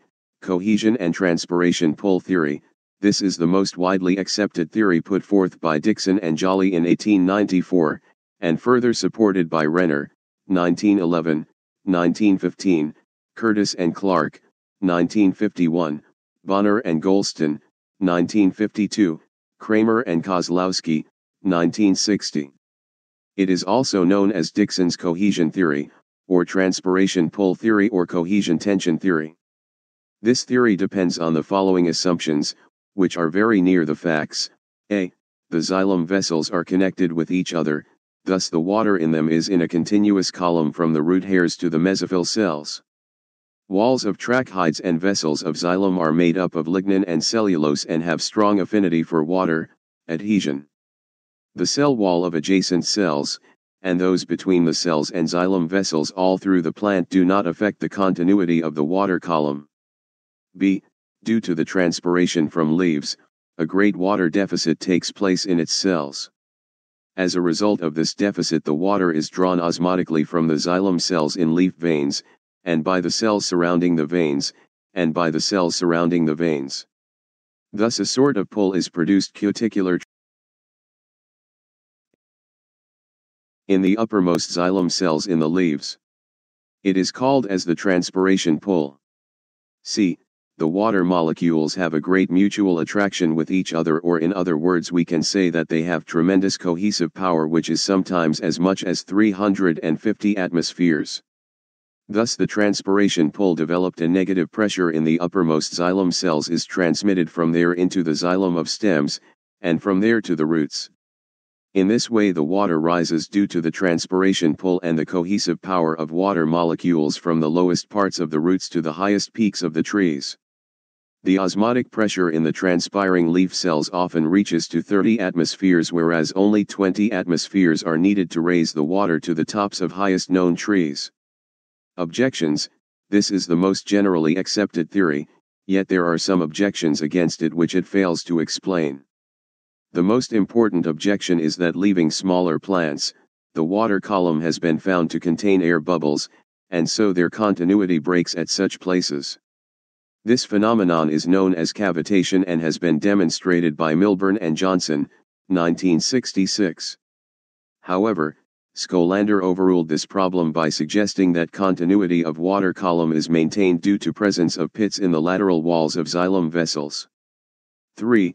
Velocity of ascent of sap, Huber and Schmidt, 1936, calculated the velocity of ascent of sap using radioactive 32P, specific dyes and also by heat pulse transport between two specific points of stem.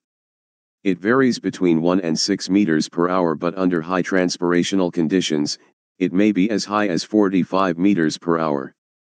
It is more in ring porous woods having large vessels. It is slowest in gymnosperms. Important tips root pressure is absent in gymnosperms. Imbibitional force in P is 1000 atm cohesive force is called as tensile strength of water. In soft stem, the ascent of sap can be prevented by applying squeezing pressure which closes the lumen of xylem channels. Overlapping cuts are given by Preston, 1958, in stem in order to break continuity of xylem channels. However, ascent of sap continued. Manometer, Greek manos, thin, metron, measure. An instrument for measuring pressure of tension, such as root pressure, in gases and liquids. Cohesive strength of 47 to 207 atm in xylem sap is sufficient to meet the stress of transpiration pull, so that water column does not break. Adhesion, the attraction between the molecules of dissimilar substances. Cohesion, the attraction between the molecules of the same substances. Osmotic pressure is maximum in noon. At this time water contents in the cell are minimum. In night, root pressure will be maximum because in night transpiration is zero. Presence of pulsation in the cortical cell was demonstrated by electric probe. Pressure bomb technique was used by Scholander et al. 3.4 Transpiration Land plants absorb a large quantities of water from the soil, but only a very small fraction of water utilized in various metabolic activities by the plants the rest amount of it, evaporates from the stem and leaves. About 98% of the water absorbed by land plants evaporates from the aerial parts and diffuses into the atmosphere. The loss of water in the form of vapor from the aerial parts of a plant is called transpiration. Maximum transpiration occurs in mesophytic plants. Basically it is an evaporation phenomenon but it differs from the general process of evaporation. Evaporation is referred to the loss of water vapors from a free surface, whereas in case of transpiration of water passes through the epidermis with its cuticle or through the stomata. Transpiration maintain the atmospheric temperature. Differences between transpiration and evaporation S.No Transpiration Evaporation 1. It is a physiological process and occurs in plants. It is a physical process and occurs on any free surface. 2. The water moves through the epidermis with its cuticle or through the stomata. Any liquid can evaporate. The living epidermis and stomata are not involved. 3. Living cells are involved. It can occur from both living and non-living surfaces. 4. Various forces, such as vapor pressure, diffusion pressure, osmotic pressure, etc., are involved. Not much forces are involved. 5.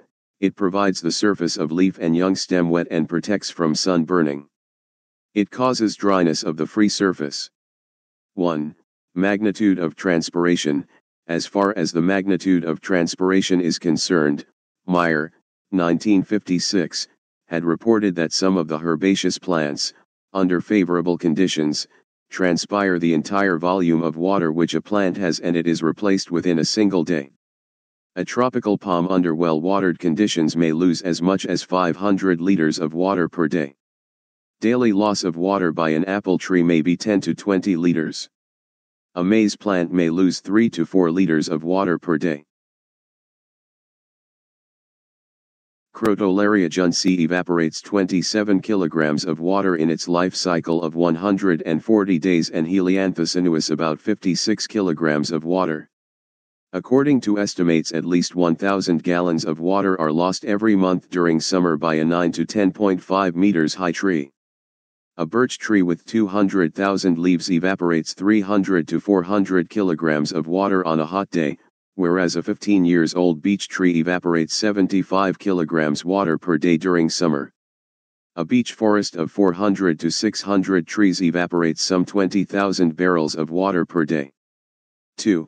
Types of transpiration Transpiration occurs from all aerial parts of a plant and water is stores in large amount of leaves. However, most of the transpiration takes place through the leaves. It is called foliar transpiration. Stems transpire very little. Transpiration from stem is called cauline transpiration. Depending upon the plant surface involved, transpiration is of three types, cuticular, lenticular, and stomatal transpiration. I.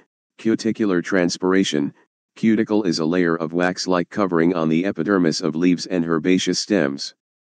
It provides a relatively impermeable covering. If it is thin, up to 20% of the total transpiration may take place through it, but with the increase in its thickness, e.g., in xerophytes, the water vapor loss is reduced. 2. Lenticular transpiration, lenticels are the areas in the bark of woody plants which are filled with loosely arranged cells known as complementary cells. Loss of water vapor through lenticels is called lenticular transpiration.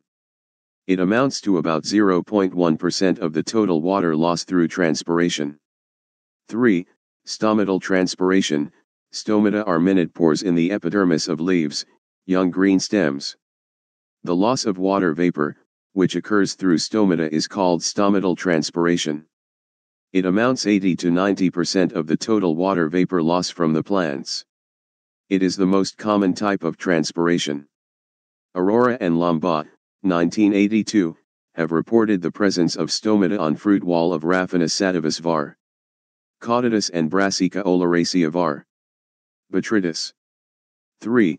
Structure of stomata, Stomata are the microscopic openings most commonly found in the leaves. These may be present in young stems and sometimes even in fruits, e.g., citrus, banana, cucumber, etc. Each stomatal opening is surrounded by two specialized epidermal cells, called as the guard cells. Because of their small size, the guard cells are rapidly influenced by turgor change and thus regulate guard cells epidermal cells stomatal pore fig, stomatal apparatus, A, closed, B, open, A, B, cuticle mesophyll cells palisade.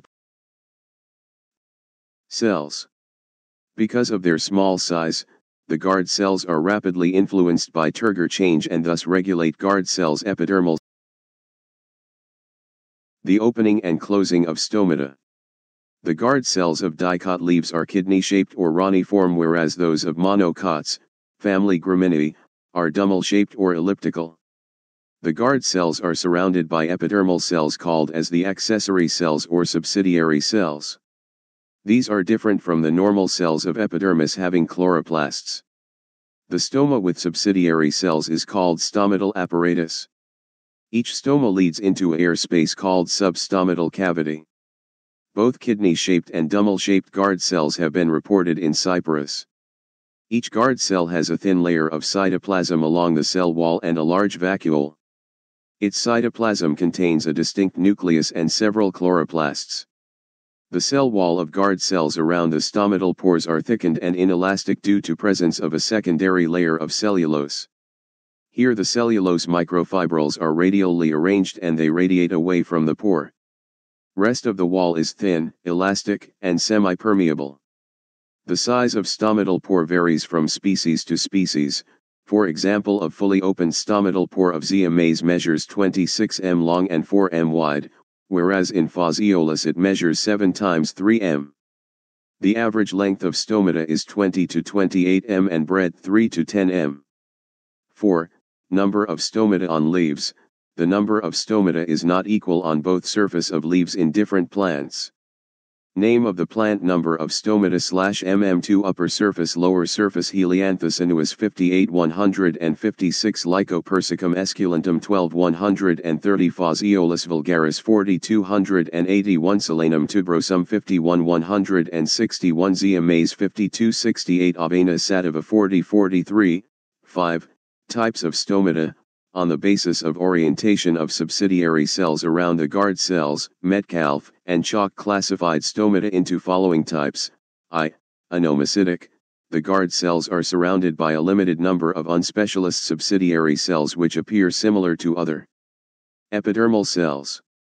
E.g., in Ranunculaceae family. 2. Anisocytic, the guard cells are surrounded by three subsidiary cells, two of which are large and one is very small. E.g., in Solanaceae and Cruciferae families. 3. Paracytic, the guard cells are surrounded by only two subsidiary cells lying parallel to the guard cells e.g., Magnoliaceae family. 4. Diacytic, the guard cells are surrounded by only two subsidiary cells lying at right angles to the longitudinal axis of the guard cells e.g., Acanthaceae and Labiatae families. V. Actinocytic, the guard cells are surrounded by four or more subsidiary cells and which are elongated radially to stomata. 6. Distribution of stomata, the stomata differ in their distribution on the two surfaces of the leaf. The leaves are classified into following types on the basis of stomatal distribution on them, I. Epistomatic, water lily type, stomata are present only on the upper epidermis of leaves.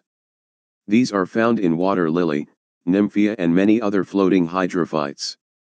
2. Hypostomatic, apple or mulberry type, stomata are present only on the lower surface of leaves. E.g., apple, mulberry, peach, and walnut. 3. Amphistomatic, stomata are present on both the surfaces of leaves. It can further be subdivided into two types, A. Anisostomatic, potato type, the number of stomata is more on the lower surface and less on the upper surface. In other words, the lower surface is multistomatic and the upper surface is paucistomatic. Such leaves are also called as dorsiventral leaves. E.g., potato, tomato, bean, pea, and cabbage.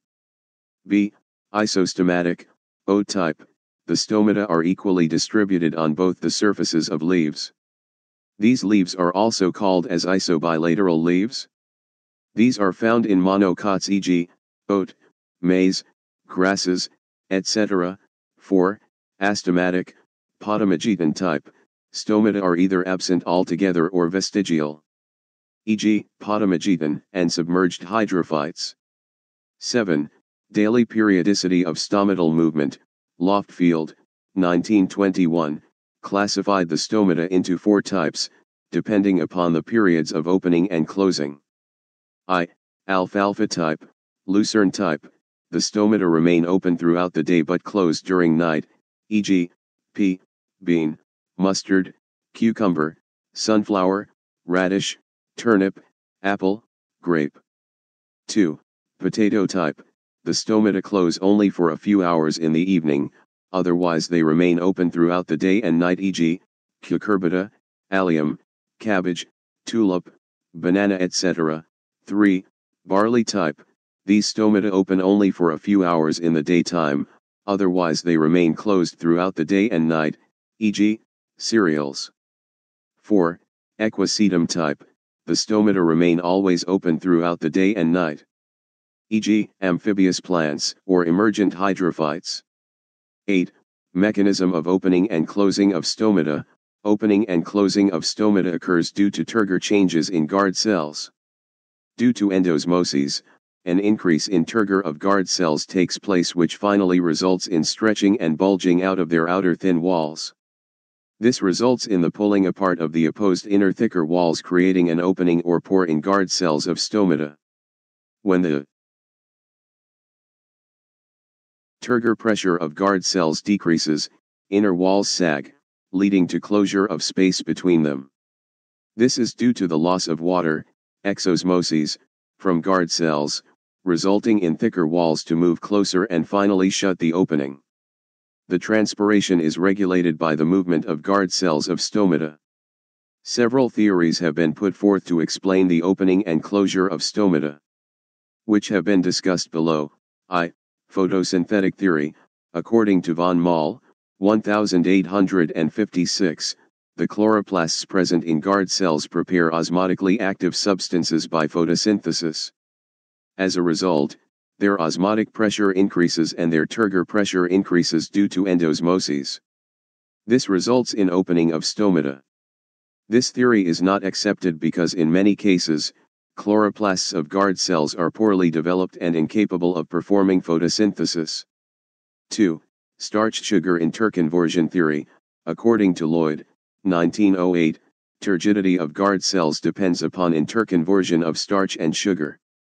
This fact was supported by Loftfield, 1921, who found that guard cells contain sugar during daytime when they are open and starch during night when they are closed.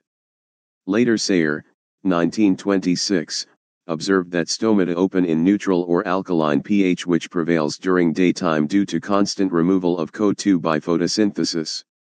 They remain closed during night when there is no photosynthesis and due to accumulation of CO2, Carbonic acid is formed which causes the pH to be acidic.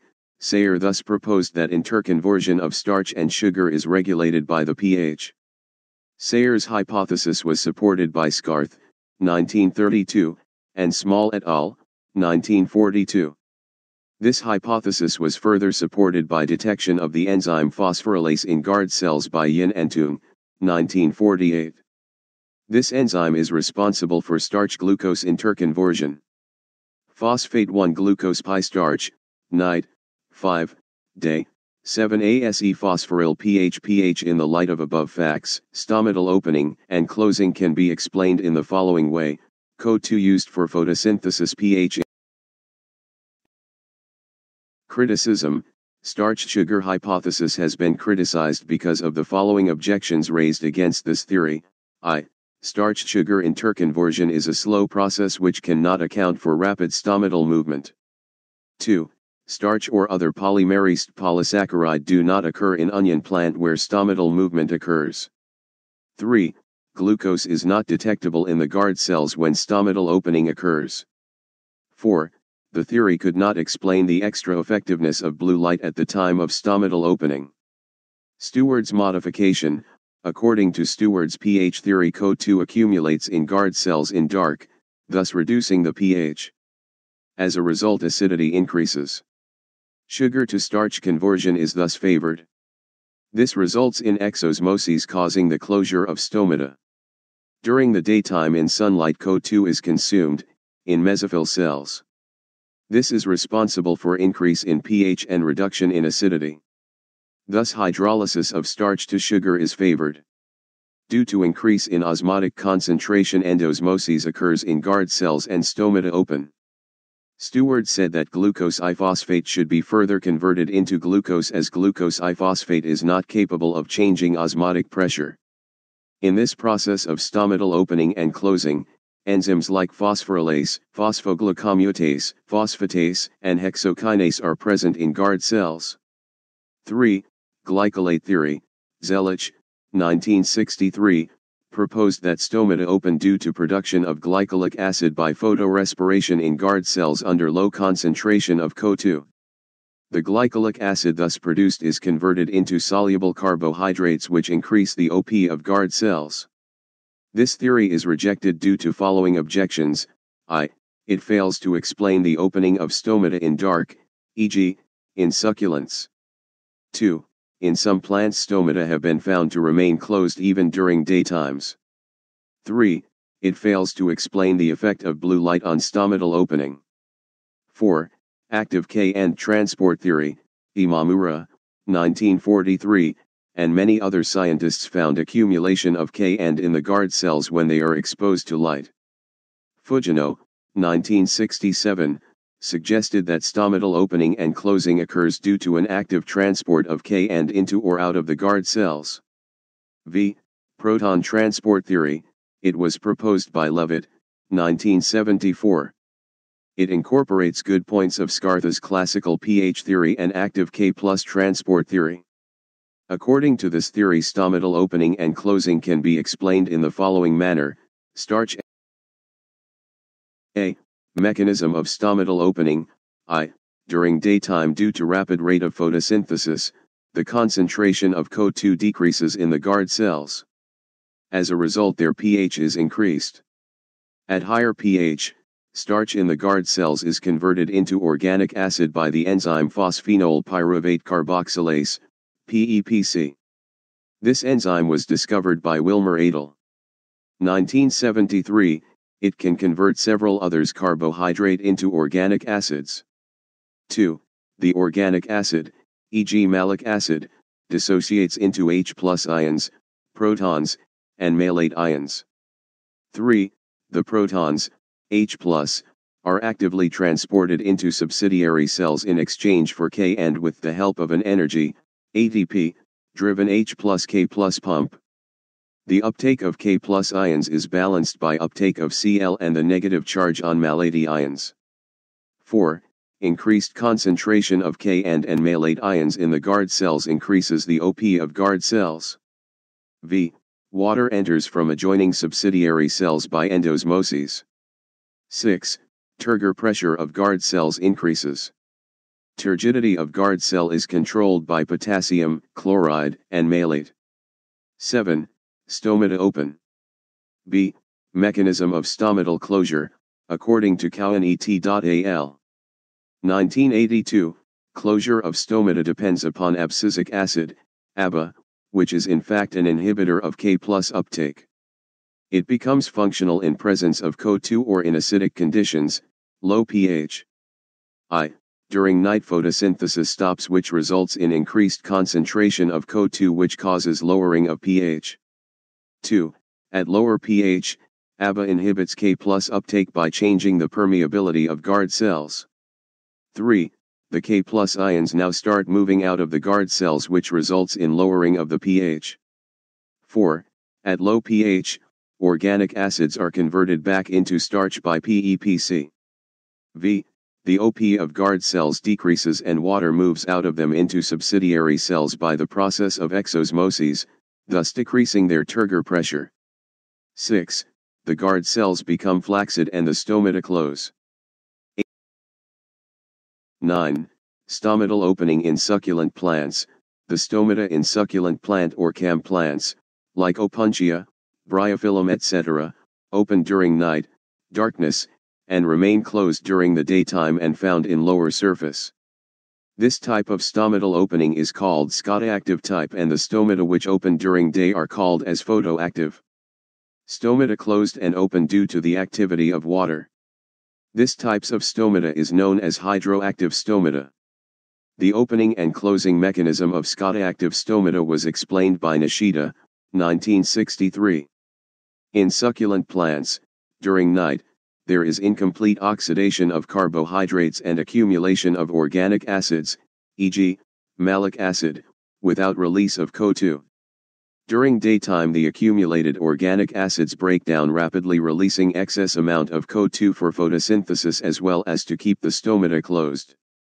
During night, OHOCO-2 acid malic 5642 glucose 6100 10. Factors affecting rate of transpiration, I. External factors, A. Atmospheric humidity, if the atmosphere is humid, it reduces the rate of transpiration. When the air is dry, the rate of transpiration increases. B. Temperature, it affects the rate of transpiration only indirectly. Increase in the temperature of the air decreases the humidity of the air and therefore more water is vaporized and lost from the transpiring surface. The lowering of the air temperature, on the other hand, increases the humidity and rate of water loss as well. C. Light.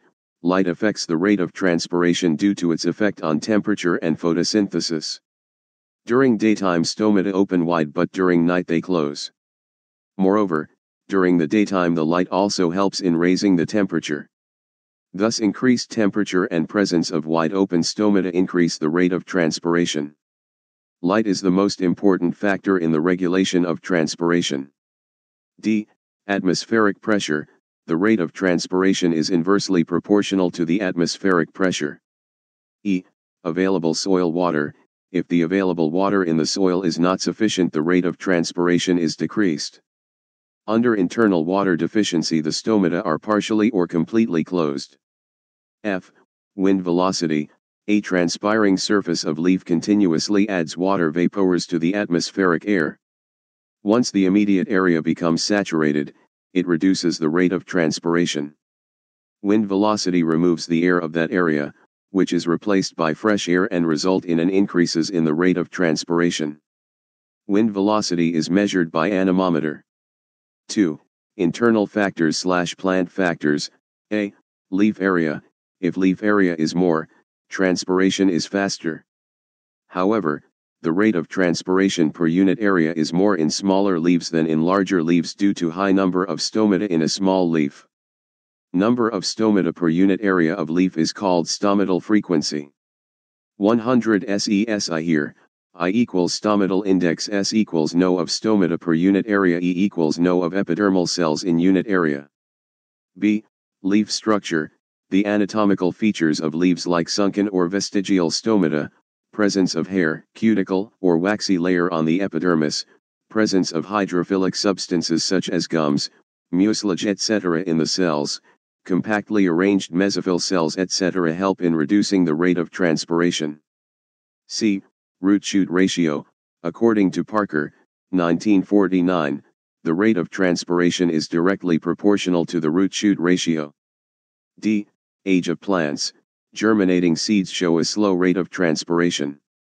It becomes maximum at maturity. However, it decreases at senescence stage. E. Orientation of leaves, if the leaves are arranged transversely on the shoot they lose more water because they are exposed to direct sunlight. If placed perpendicularly they transpire at slower rate. 11. Significance of transpiration, the advantages and disadvantages of transpiration are discussed below. I. Advantages A. Transpiration is important for plants because it directly influences the absorption of water from the soil. B. Transpiration exerts a tension or pull on water column in xylem which is responsible for the ascent of sap. C. Transpiration helps in the movement of water and minerals absorbed by the roots to the other parts of the plant. D.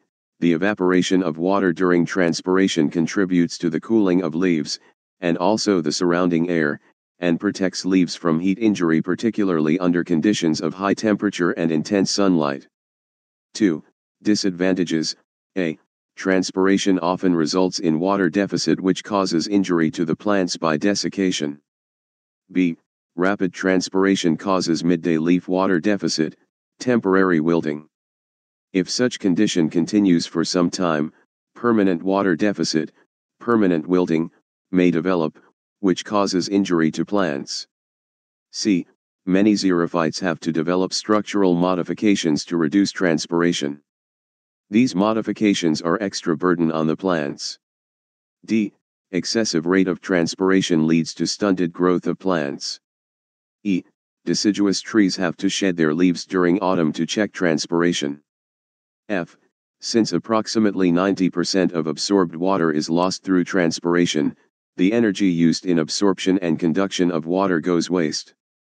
Besides all the above mentioned disadvantages, the process of transpiration is unavoidable, because of the anatomical structure of the leaves. Since stomata are required for gaseous exchange in photosynthesis and respiration, the loss of water through them cannot be avoided. Therefore, Curtis, 1926, truly called transpiration as a necessary evil. 12. Antitranspirants, most of the water absorbed by plants is lost to the atmosphere by transpiration and hence water use by plants is very inefficient. In recent years efforts have been made to improve the efficiency of water use by the plants.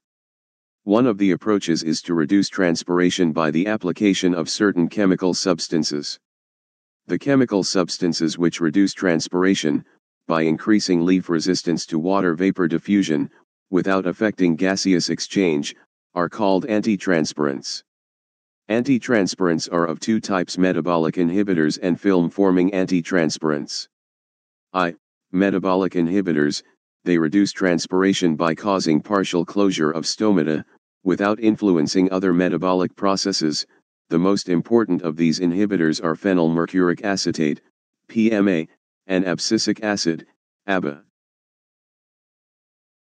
2 film-forming antitranspirants, they check transpiration by forming a thin transparent film on the transpiring surface. They are sufficiently permeable to carbon dioxide and oxygen to allow photosynthesis and respiration, but prevent movement of water vapor through them. The important chemicals of this group are silicone emulsion, colorless plastic resins and low viscosity waxes. 13. Guttation, the process of exudation of liquid drops from the edges of leaves is called guttation or the process of the escape of liquid from the tip of uninjured leaf is called guttation. Usually it is occur through stomata-like pores called hydathodes. Exudation may sometime occur from stem through the scars of leaves and lenticels. Guttation usually occurs when the plant is put in more saturated atmosphere. Hydathodes are generally present at the tip or margin of leaves. These pores are present over a mass of loosely arranged cells with large intercellular spaces called epitheme. This mass of tissue lies above a vein ending. The xylem of a small vein usually terminates among the thin-walled parenchyma cells of epitheme. Guttation is caused due root pressure. It is found in 115 families and 333 genera of woody and herbaceous plants. E.g., garden nasturtium, tropaeolum, oat, avena, colocasia etc. growing in moist, warm soil and under humid conditions. When the absorption of water exceeds that of the transpiration, hydrostatic pressure is built up in xylem ducts. As a result, water is pushed in the xylem ducts and comes out through the hydathodes. The water of guttation contains several dissolved inorganic and organic substance. Differences between transpiration and guttation S.No Transpiration guttation, 1. It occurs during daytime it usually occurs in the night. 2. The water is given out in the form of vapor. The water is given out in the form of liquid. 3. The transpired water is pure. Guttated water contains dissolved salts and sugar. 4. It takes place through stomata or cuticle. It occurs through special structure called hydathode found only on leaf tips or margin. 5. It is a controlled process. It is uncontrolled process. 6. It lowers down the temperature of the surface. It lacks such relationship. Guard cell 5. It Differences between stomata and hydathode S. No. Stomata hydathode 1. Stomata occur on epidermis of leaves, young stems, etc. Hydathodes generally occur at the tip or margins of leaves of those plants that grow in moist shady places. 2.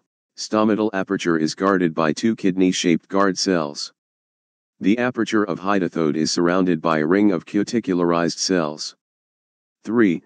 The two guard cells are generally surrounded by subsidiary cells. The subsidiary cells are absent. 4. The opening and closing of stomatal aperture is regulated by guard cells.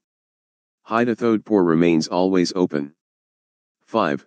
These are the structure involved in transpiration and exchange of gases. Hydathodes are involved in guttation. Important tip psychrometer is used for measuring relative humidity as well as transpiration. Hydrometer is used for measuring the density or specific gravity of a liquid. Barometer is used for measuring atmospheric pressure. Barograph represents the recording of barometer. Porometer is used for measuring the size of stomata. Atmometer is used for measuring pull caused by evaporation of water from a porous pot. Potometer is used for measuring the rate of transpiration. Transpiration ratio, it is number of units of water transpired for manufacturing 1 unit of dry matter. Transpiration ratio is 50 in CAM plants, 100 to 200 in C4 plants, 300 to 500 for most mesophytes and 900 in alfalfa. Schwendener, 1881, was the first to point out that stomatal opening and closing is due to turgor changes in guard cells. Photoactive stomata, stomata open in response to light. The action spectrum consists of red and blue light, blue light is more effective in stomatal opening, Moroviv, 1958. Since, most of the transpiration is stomatal, the action spectrum of transpiration is red and blue light. Stomata remain open at relative humidity above 70% and close below relative humidity of 50%. Transpiration of hills, high due to lower atmospheric pressure but low due to lesser hours of light and lower temperature. Transpiration is therefore, near normal but the plants show xeromorphy due to lesser water availability. The term guttation was coined by Burgerstein, 1887. In Saxifraga, the rate of guttation is high during flowering. Lactuca scariola and Silphium laciniatum are called compass plants as their leaves remain vertically in north-south direction. Maximum opening of stomata occurs at about 10 a.m. and 3 p.m., at 12 o'clock noon, partial closure of stomata occurs. In C3 plant the rate of transpiration is high. In angiosperm stomata does not open during at midnight. Cobalt chloride paper method was first used by Stahl, 1894. It is used to compare rate of transpiration on two surfaces of leaf. Cobalt chloride is blue in anhydrous state. In contact with water vapor it turns pink. Bleeding is the exudation of sap, water along with dissolved organic and inorganic substances, from the injured parts of the plant e.g., exudation of latex from laticiferous ducts in euphorbia and members of family Moraceae, mulberry family, are the cases of bleeding. In many plants like oleander, nerium, the stomata are not only sunken but are further protected by the presence of trichomes or epidermal hairs. In many plants like India rubber, cabbage, sugarcane etc., the leaves are covered with bloom, which is a waxy substance and as such prevents a certain amount of cuticular transpiration. The rate of transpiration will greatly depends upon position of stomata. The presence of gums, mucilage, latex etc., in the tissues of the leaf also checks transpiration of water. When transpiration is very low and absorption is high, the root pressure is maximum. In aquatic and submerged plants stomata are absent e.g., Vallisneria. 3.5 Translocation of organic solutes. The synthesis of carbohydrate food materials, mainly through the process of photosynthesis, occurs in green cells of plant. The non-green cells are therefore, dependent on photosynthetic cells for their carbohydrate supply. The organic food mainly from the leaves, is transported to the non-green parts where it is needed for respiration and biosynthesis. This movement of organic food or solute in soluble form, from one organ to another organ is called translocation of organic solutes. It has been now well established that carbohydrates are translocated from leaves to roots and storage organs, tubers, bulbs, fruits, etc., along the phloem in the form of sucrose. They are transported through living sieve elements of phloem, chiefly sieve tube members in seed plants.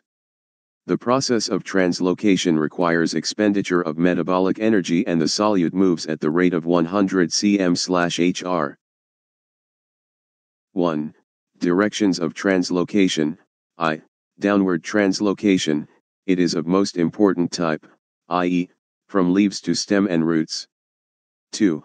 Upward translocation, from leaves to developing flowers, buds, fruits and also during germination of seeds and tubers, etc. 3. Radial translocation, from pith to cortex and epidermis.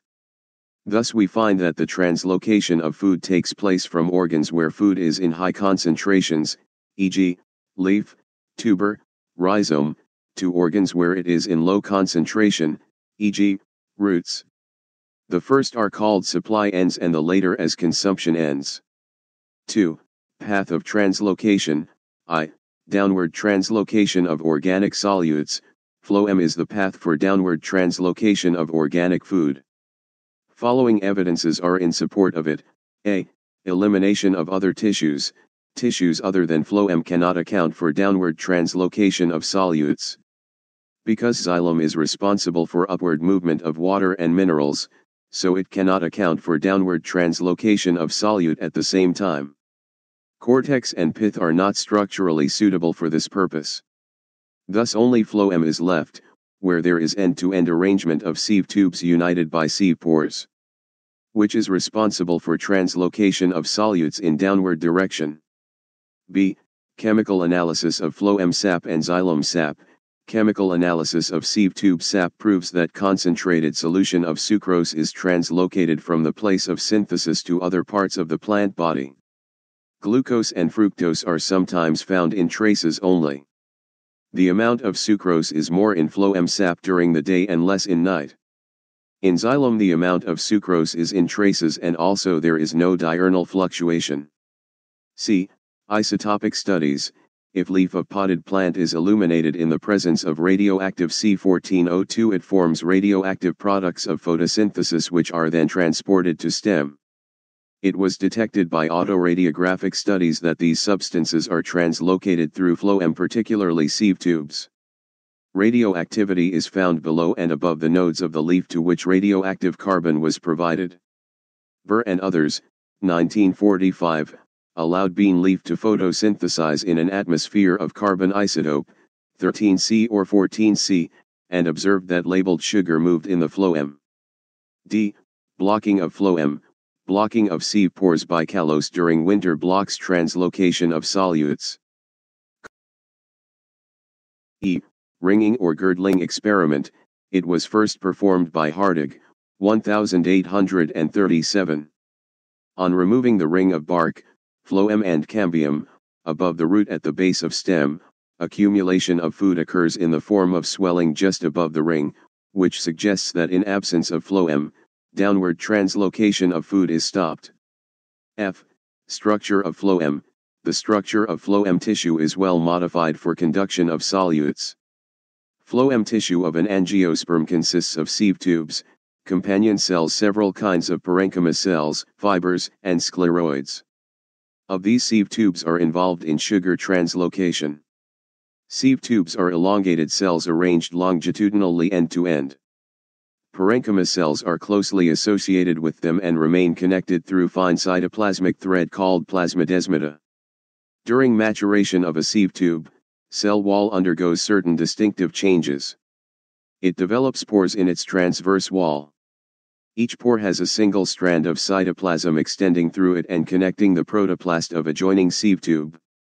These pores may also be present in lateral walls in certain cases. In general, these sieve areas, pores, are localized on the end walls and are called sieve plates. The border of each pore becomes impregnated at maturity with callose, a polysaccharide, and the cytoplasmic strand within pore remains encased in a cylinder of callose.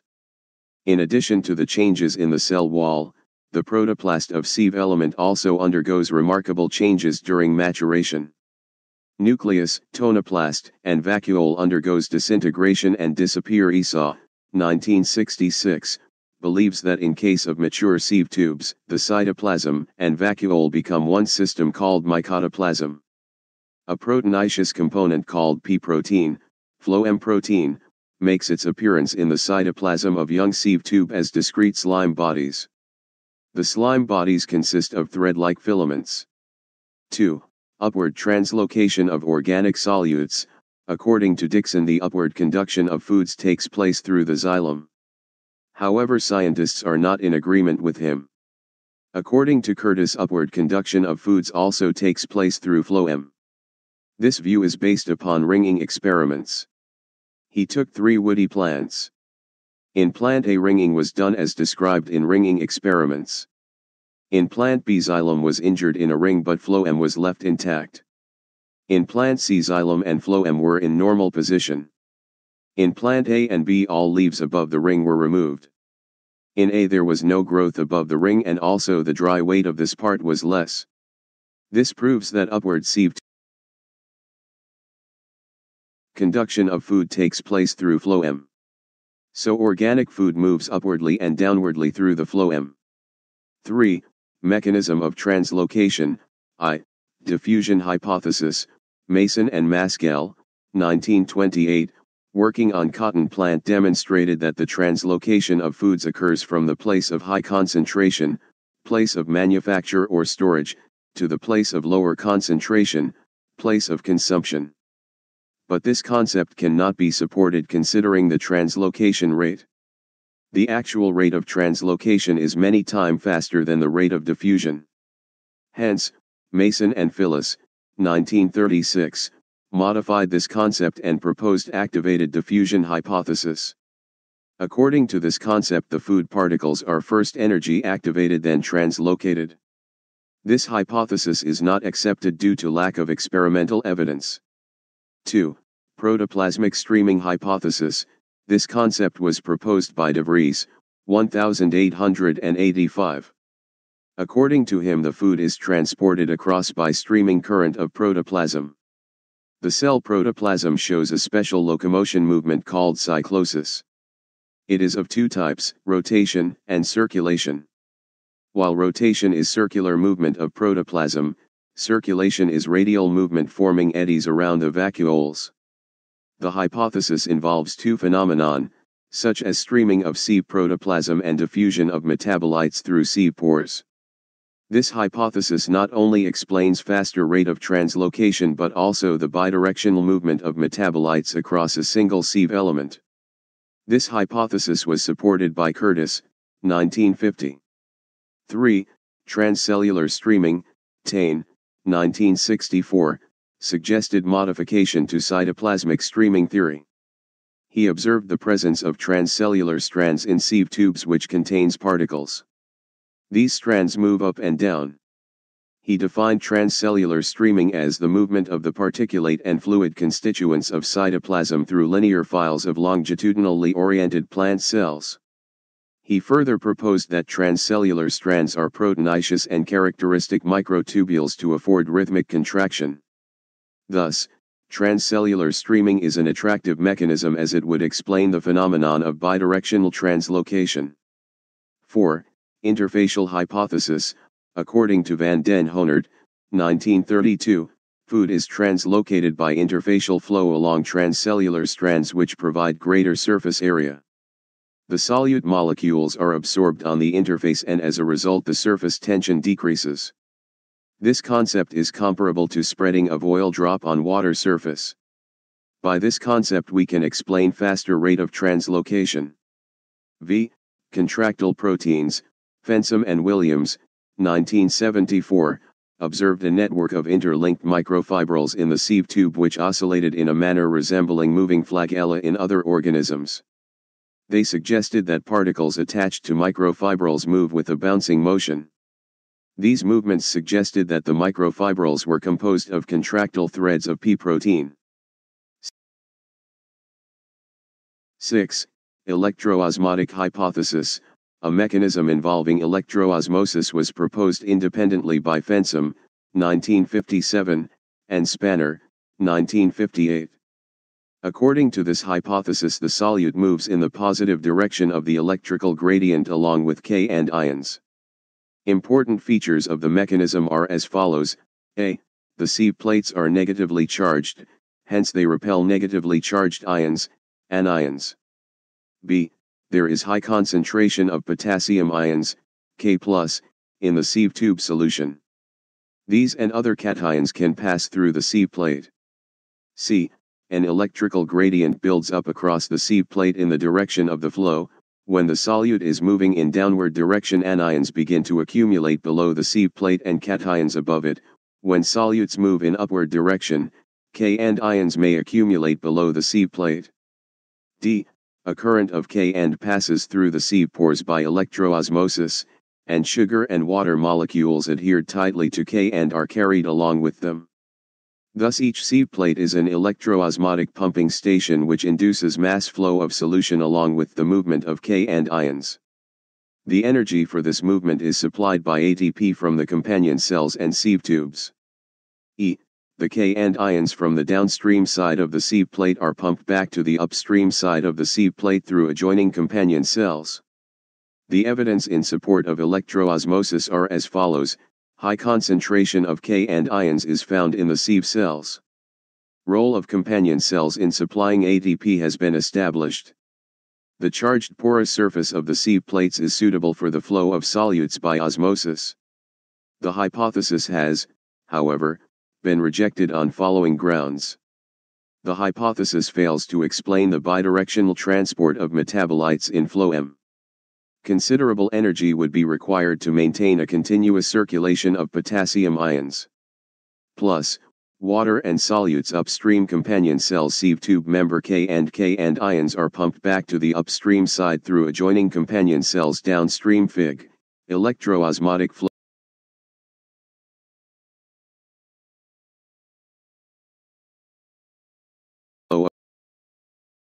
7. Munch mass flow or pressure flow hypothesis. The mass flow or pressure flow mechanism was first proposed by Hartig, 1860. It was later modified by Munch, 1930. Crafts elaborated further in 1938. Munch assumed that the protoplasm of sieve tube is connected through plasmodesmata and forms a continuous system, called as the symplast.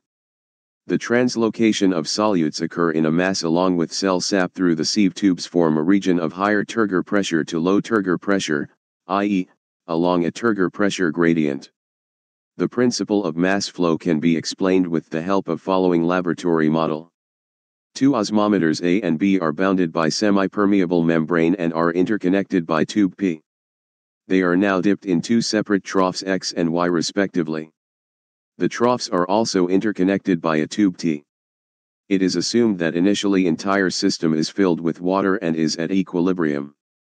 If sugar is added in osmometer A its osmotic pressure and suction pressure increase, as a result water enters into it by the process of endosmosis.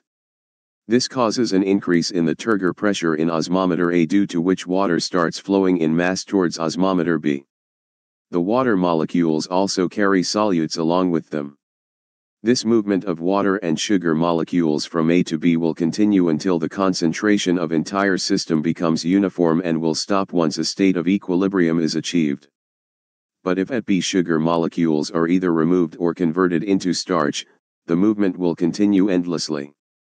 The above said system is comparable to the system of transport operating in a living plant. The osmometer A represent the leaves where mesophyll cells manufacture sugar by photosynthesis. It increases their osmotic pressure and suction pressure due to which water is drawn in from the adjoining cells thus the turgor pressure of mesophyll cells is increased. Tube P represents the phloem which transmits the solutes along the turgor pressure gradient to osmometer B representing the storage or consumption end, e.g., roots, fruits, and other living cells. Tube T represents xylem which transfers water from roots to leaves. This hypothesis satisfactorily explains the flow of solutes through sieve tubes under high pressure.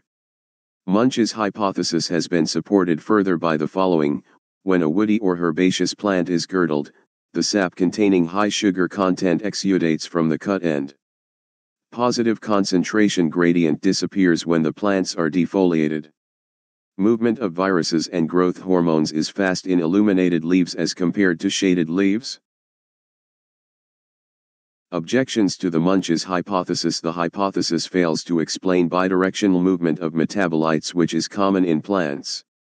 Osmotic pressure of mesophyll cells and that of root hair do not confirm the requirements.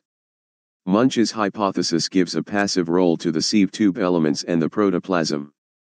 4. Factors affecting translocation, I.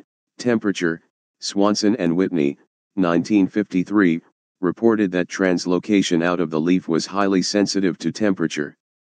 Optimum temperature for translocation ranges between 20 to 30 degrees Celsius. The rate of translocation increases with the increase of temperature up to an upper limit and then starts declining. At low temperature, the rate of translocation decreases but such an effect is only transient because the resultant steeper concentration gradient quickly brings about readjustment of translocation rate. 2. Light, Hart and his co-workers, 1964, proposed that the movement of assimilates of a leaf can depend upon radiant energy. The increase in light intensity more food starts being translocated to roots than to shoots. At lower intensity the growth of root and shoot is inhibited thereby the rate of translocation also decreases. 3. Hormones, Cytokinins have a pronounced effect on the translocation of water-soluble nitrogen compounds. 4. Oxygen. Oxygen is necessary during transfer of food from mesophyll cells into phloem which is called as phloem loading. V. Minerals. Boron is highly essential for translocation of sugar. Translocation of sucrose occurs in the form of sucrosporate complex. Phosphorus also helps in translocation of solutes. 6. Water. Translocation of photosynthates out of the leaves is highly sensitive to the amount of water in the plant cells. However, it does not have much effect on movement of solutes through phloem. 7. Metabolic inhibitors. The metabolic inhibitors which inhibit the process of respiration, e.g., iodoacetate, HCN, carbon monoxide etc., adversely affect the process of translocation because phloem loading and unloading require ATP. Important tips Mittler, 1958, develop a technique for the collection of phloem sap using an aphid stylet. In a girdled plant, root die first and ultimately shoot dies. Medullary rays is the path of radial translocation of organic solutes. The principal pathway by which water is translocated in angiosperm is xylem and vessels. The food stored in the ripening fruit is derived from nearest leaves. Marshall and Wardlaw, 1973, proposed the solution flow hypothesis. Active mass flow in which oxygen is required was proposed by Mason and Phillis, 1936. Bimodal theory of translocation was put forth by Fensom, 1971. Mature sieve tubes do not show streaming movement. Important tips Mittler,